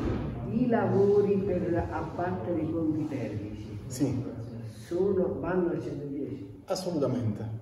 Quello è un intervento di riqualificazione energetica dell'involucro la riduzione dei ponti termici. Di fatto lei la, la, il ponte termico lo riduce con un cappotto esterno, No, con... alcuni colleghi dicono no, che te ne frega, non lo fai, fai solo e non togli gli stili. Eh, Eh, quello è un sembrava- discorso non corretto dal punto di vista tecnico, lasciamo stare la, la, la direzione, Eh, perché eh, io tecnicamente- mi potrei sforzare tanto nel migliorare l'involucro e mi dimentico dei punti sensibili che sono le discontinuità geometriche, le, magari le travi, E le soglie le soglie, bravissime, le soglie che dai dentro, quello è un intervento assolutamente di riqualificazione energetica. Quindi rientra, ma è anche, come dire, doveroso farle, E poi voglio farle. fare- E Assolutamente. poi voglio fare una domanda per Terzi. Sì. Io ho un cassetto fiscale da 1000 euro all'anno, Sì, faccio 100.000 euro. sì. Caso che poi le cose vanno male. Cioè, i soldi dove chi li va in quel cassetto non ci sono. Allora, attenzione. Lei ha, Ecco eh, lei ha due opzioni. Uno, cioè, eh, beh, beh, la legge è chiara su questo. Uno, usufruisce della detrazione, due, la cede. Sì, sì, sì. Se lei non ha la possibilità di usufruire, lei parla di, di, di, di- IRPEF da versare all'anno? Ok, se lei non ha un IRPEF, non ce l'ha, la deve per forza, per forza di cosa cedere. E quindi in quel caso, se la banca Sì. mi fa il che poi di mutuo Sì. si tratta, Sì. eh, Ora chiariamo anche questa questione del mutuo, gliela chiarisco. Vanno a prendere nel, nel- nel cassetto fiscale No, no, no, no, nel momento in cui, attenzione, Eh, nel momento in cui la banca si appropria della detrazione, la banca da contratto mi deve dare una contropartita. La banca sta comprando il mio credito fiscale, lo sta comprando. Cioè io con la banca avrò, se volete vi, vi racconto il foglietto informativo di Unicredit che lo conosco abbastanza bene, l'ho letto con Cioè, attenzione. questo è quello che dice, dice- Non ho parlato con nessuno di Unicredit, però il foglietto l'ho letto. Allora qualcuno, qualcuno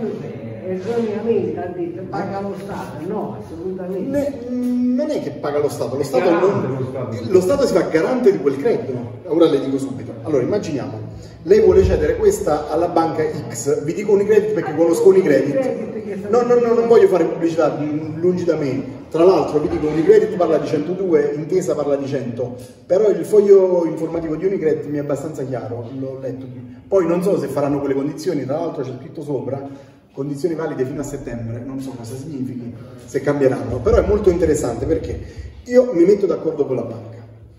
dicendo voglio cederti questo credito. Chiaramente mi chiederà una sfilza di documenti, tra le altre cose chiedono l'agibilità, ne avete parlato prima. Dicono 30 L'agibilità non, non ha nulla a che vedere con la conformità urbanistica. La conformità urbanistica, ed è stato detto, attesta lo stato di legittimità dell'immobile, che ha poco a che vedere con l'agibilità che mi attesta un'altra cosa. L'agibilità mi attesta che ci posso vivere, che le, le condizioni di salubrità, mi attesta che gli impianti sono a norma e mi attesta una serie di questioni, quelle dell'agibilità. Prima si chiamava abitabilità, lo sapete meglio di me. La conformità urbanistica è tutt'altro, quindi la banca già chiede l'agibilità, questa cosa è un po' strana, anche perché espressa- non sono espressamente incentivati i ruderi, l'abbiamo detto. Ditemi un rudere, magari unità agibile. se mi dite un agibile che magari c'entro mi cade in testa, per definizione, unità collabente. Quindi di fatto ci, si stanno inventando cose un po' strane. Eh, detto questo, come funziona il meccanismo? Nel momento in cui io eh, instauro un rapporto con la banca, eh, il tutto si traduce nell'apertura istantanea di un conto corrente con loro, gratuito da come dicono, poi non so se è vero o meno, non lo so, vi dico quello che c'è scritto, gratuito. Apro il conto corrente con loro, ehm, a questo punto cosa accade? Ehm, dovrei arrivare, l'abbiamo detto prima, per poter cedere alla banca, dovrei arrivare ad almeno il 30% dell'importo totale a SAL, al, al raggiungimento del primo SAL ci sono tutta una serie di adempimenti in capo al tecnico che dovrà fare tutte le asseverazioni, quindi tutto quello che deve fare per l'intera opera la deve fare già, la deve anticipare già al T, a T30, significa T30 significa al tempo in cui raggiungerò il SAL del 30, quindi a T30 dovrò fare tutta una serie di operazioni, andrò dal commercialista e mi metterà il visto di conformità, farò la cessione a favore della banca, dopo 5 giorni la banca mi riconosce il 102% della detrazione che gli ho dato, quindi gli darò il 100, spendo 100, eh, 30, immaginiamo su 100.000 totali, arrivo a SAL 30, significa a, a 30.000 euro, 30.000 euro asseverazioni e tutto il resto, quindi visto di conformità, cessione del credito, la banca mi darà il 102%, il 102% di 30 ok? Non so quanto sarà, sarà 30.600, ok, me li dà.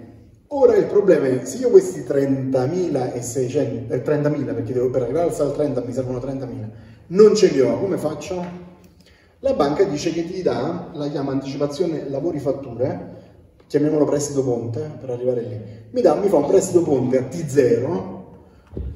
per darmi la possibilità di, di anticipare. Eh, non è che mi dà 30.600, mi darà per l'esattezza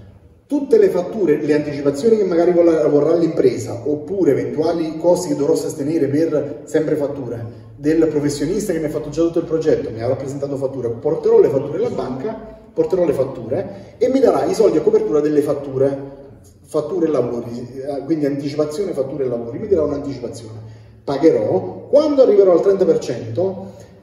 quando riceverà il mio credito fiscale, la prima cosa co coprirà questi costi.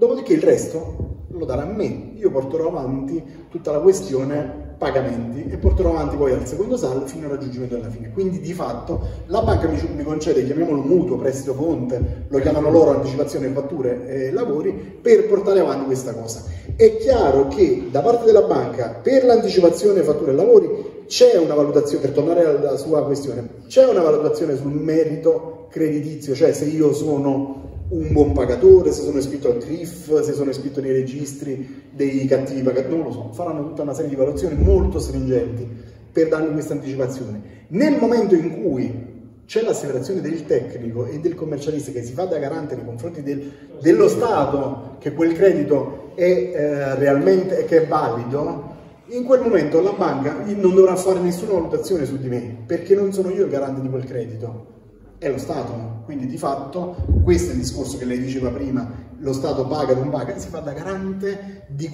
manca, di, questo mancato, chiamiamolo così, pagamento delle tasse, cioè lo Stato deve ricevere delle tasse da lei, non ricevendole da lei le riceverà, non le riceverà da qualcun altro, quindi si crea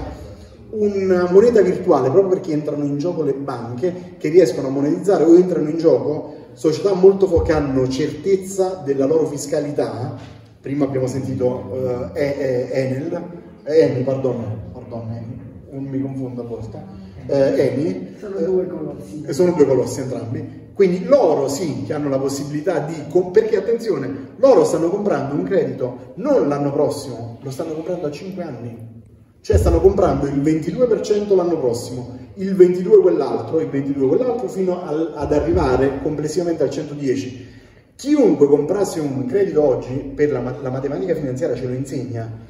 non posso pensare che sta avendo un beneficio reale del 10%, non è così. Sta avendo un beneficio del 2% all'anno a interesse semplice, quindi ancora di meno, quindi attenzione a questa cosa. Non posso dire che io ho un vantaggio immediato, la banca che compra quel credito non ha un vantaggio immediato del 10%, non è così, non potrà mai esserlo così.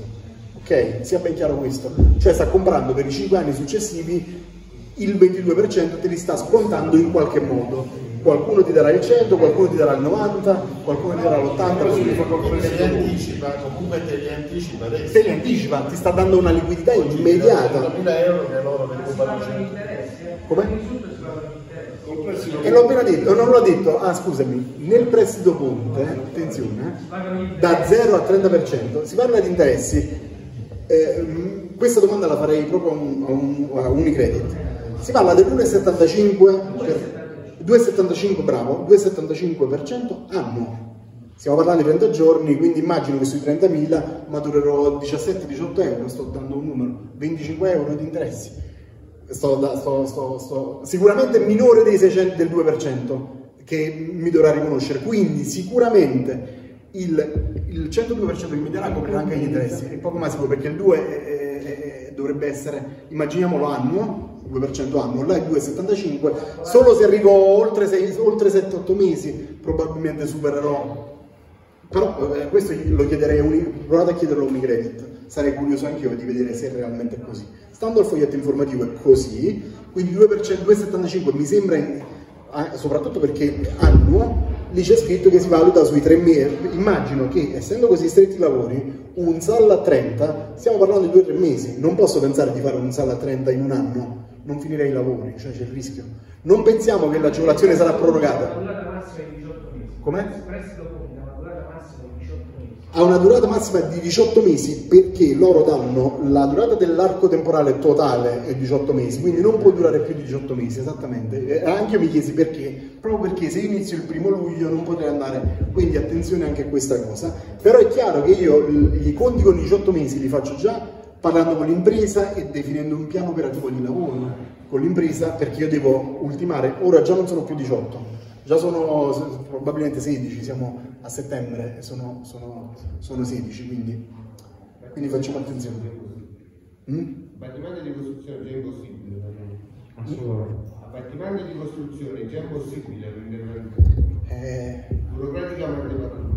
Burocratico, questa è un'altra cosa interessante, se ne vogliamo parlare due minuti. Abbattimento di costruzione, eh, la legge semplificazioni questo ne abbiamo già parlato altre volte, nell'attuale formulazione, non è legge, perdono, il decreto semplificazioni, deve essere convertito in legge e stanno già iniziando una serie di problematiche, però introduce, in, in, introduce questioni molto interessanti, tra cui la DPR 380, articolo 3, comma 1, lettera D, eh, parliamo di ristrutturazione edilizia. Ristrutturazione edilizia, che mi dà diritto a tutto questo, negli interventi di ristrutturazione edilizia viene ricompreso l'intervento di demolizione e ricostruzione, e era già dal 2013 in poi, era già così, ma la vera novità è che è consentito anche la uh, variazione di, di sagoma, quindi anche di prospetti, l'area di sedime e addirittura anche di volume qualora rientranti in, qualora sussistano dei piani di rigenerazione urbana, leggi piano casa, eh, per alcune zone, insomma dipende. Eh, ora stanno iniziando però già delle modifiche, sentivo stamattina, ehm, ci sono già una serie di, al Senato, ci sono una serie di emendamenti, stanno modificando, stanno tutelando le zone storiche come è giusto che sia, non immaginerei di fare una demolizione e ricostruzione in un centro storico dove confino con altri palazzi e andare a variare la forma, questo è ovvio, evidente, ma ci sono una serie di modifiche che stanno portando, però questa cosa è interessante, è chiaro che dal punto di vista amministrativo è difficile, è difficile, sono d'accordo. Arrivederci. Ci sono altre domande?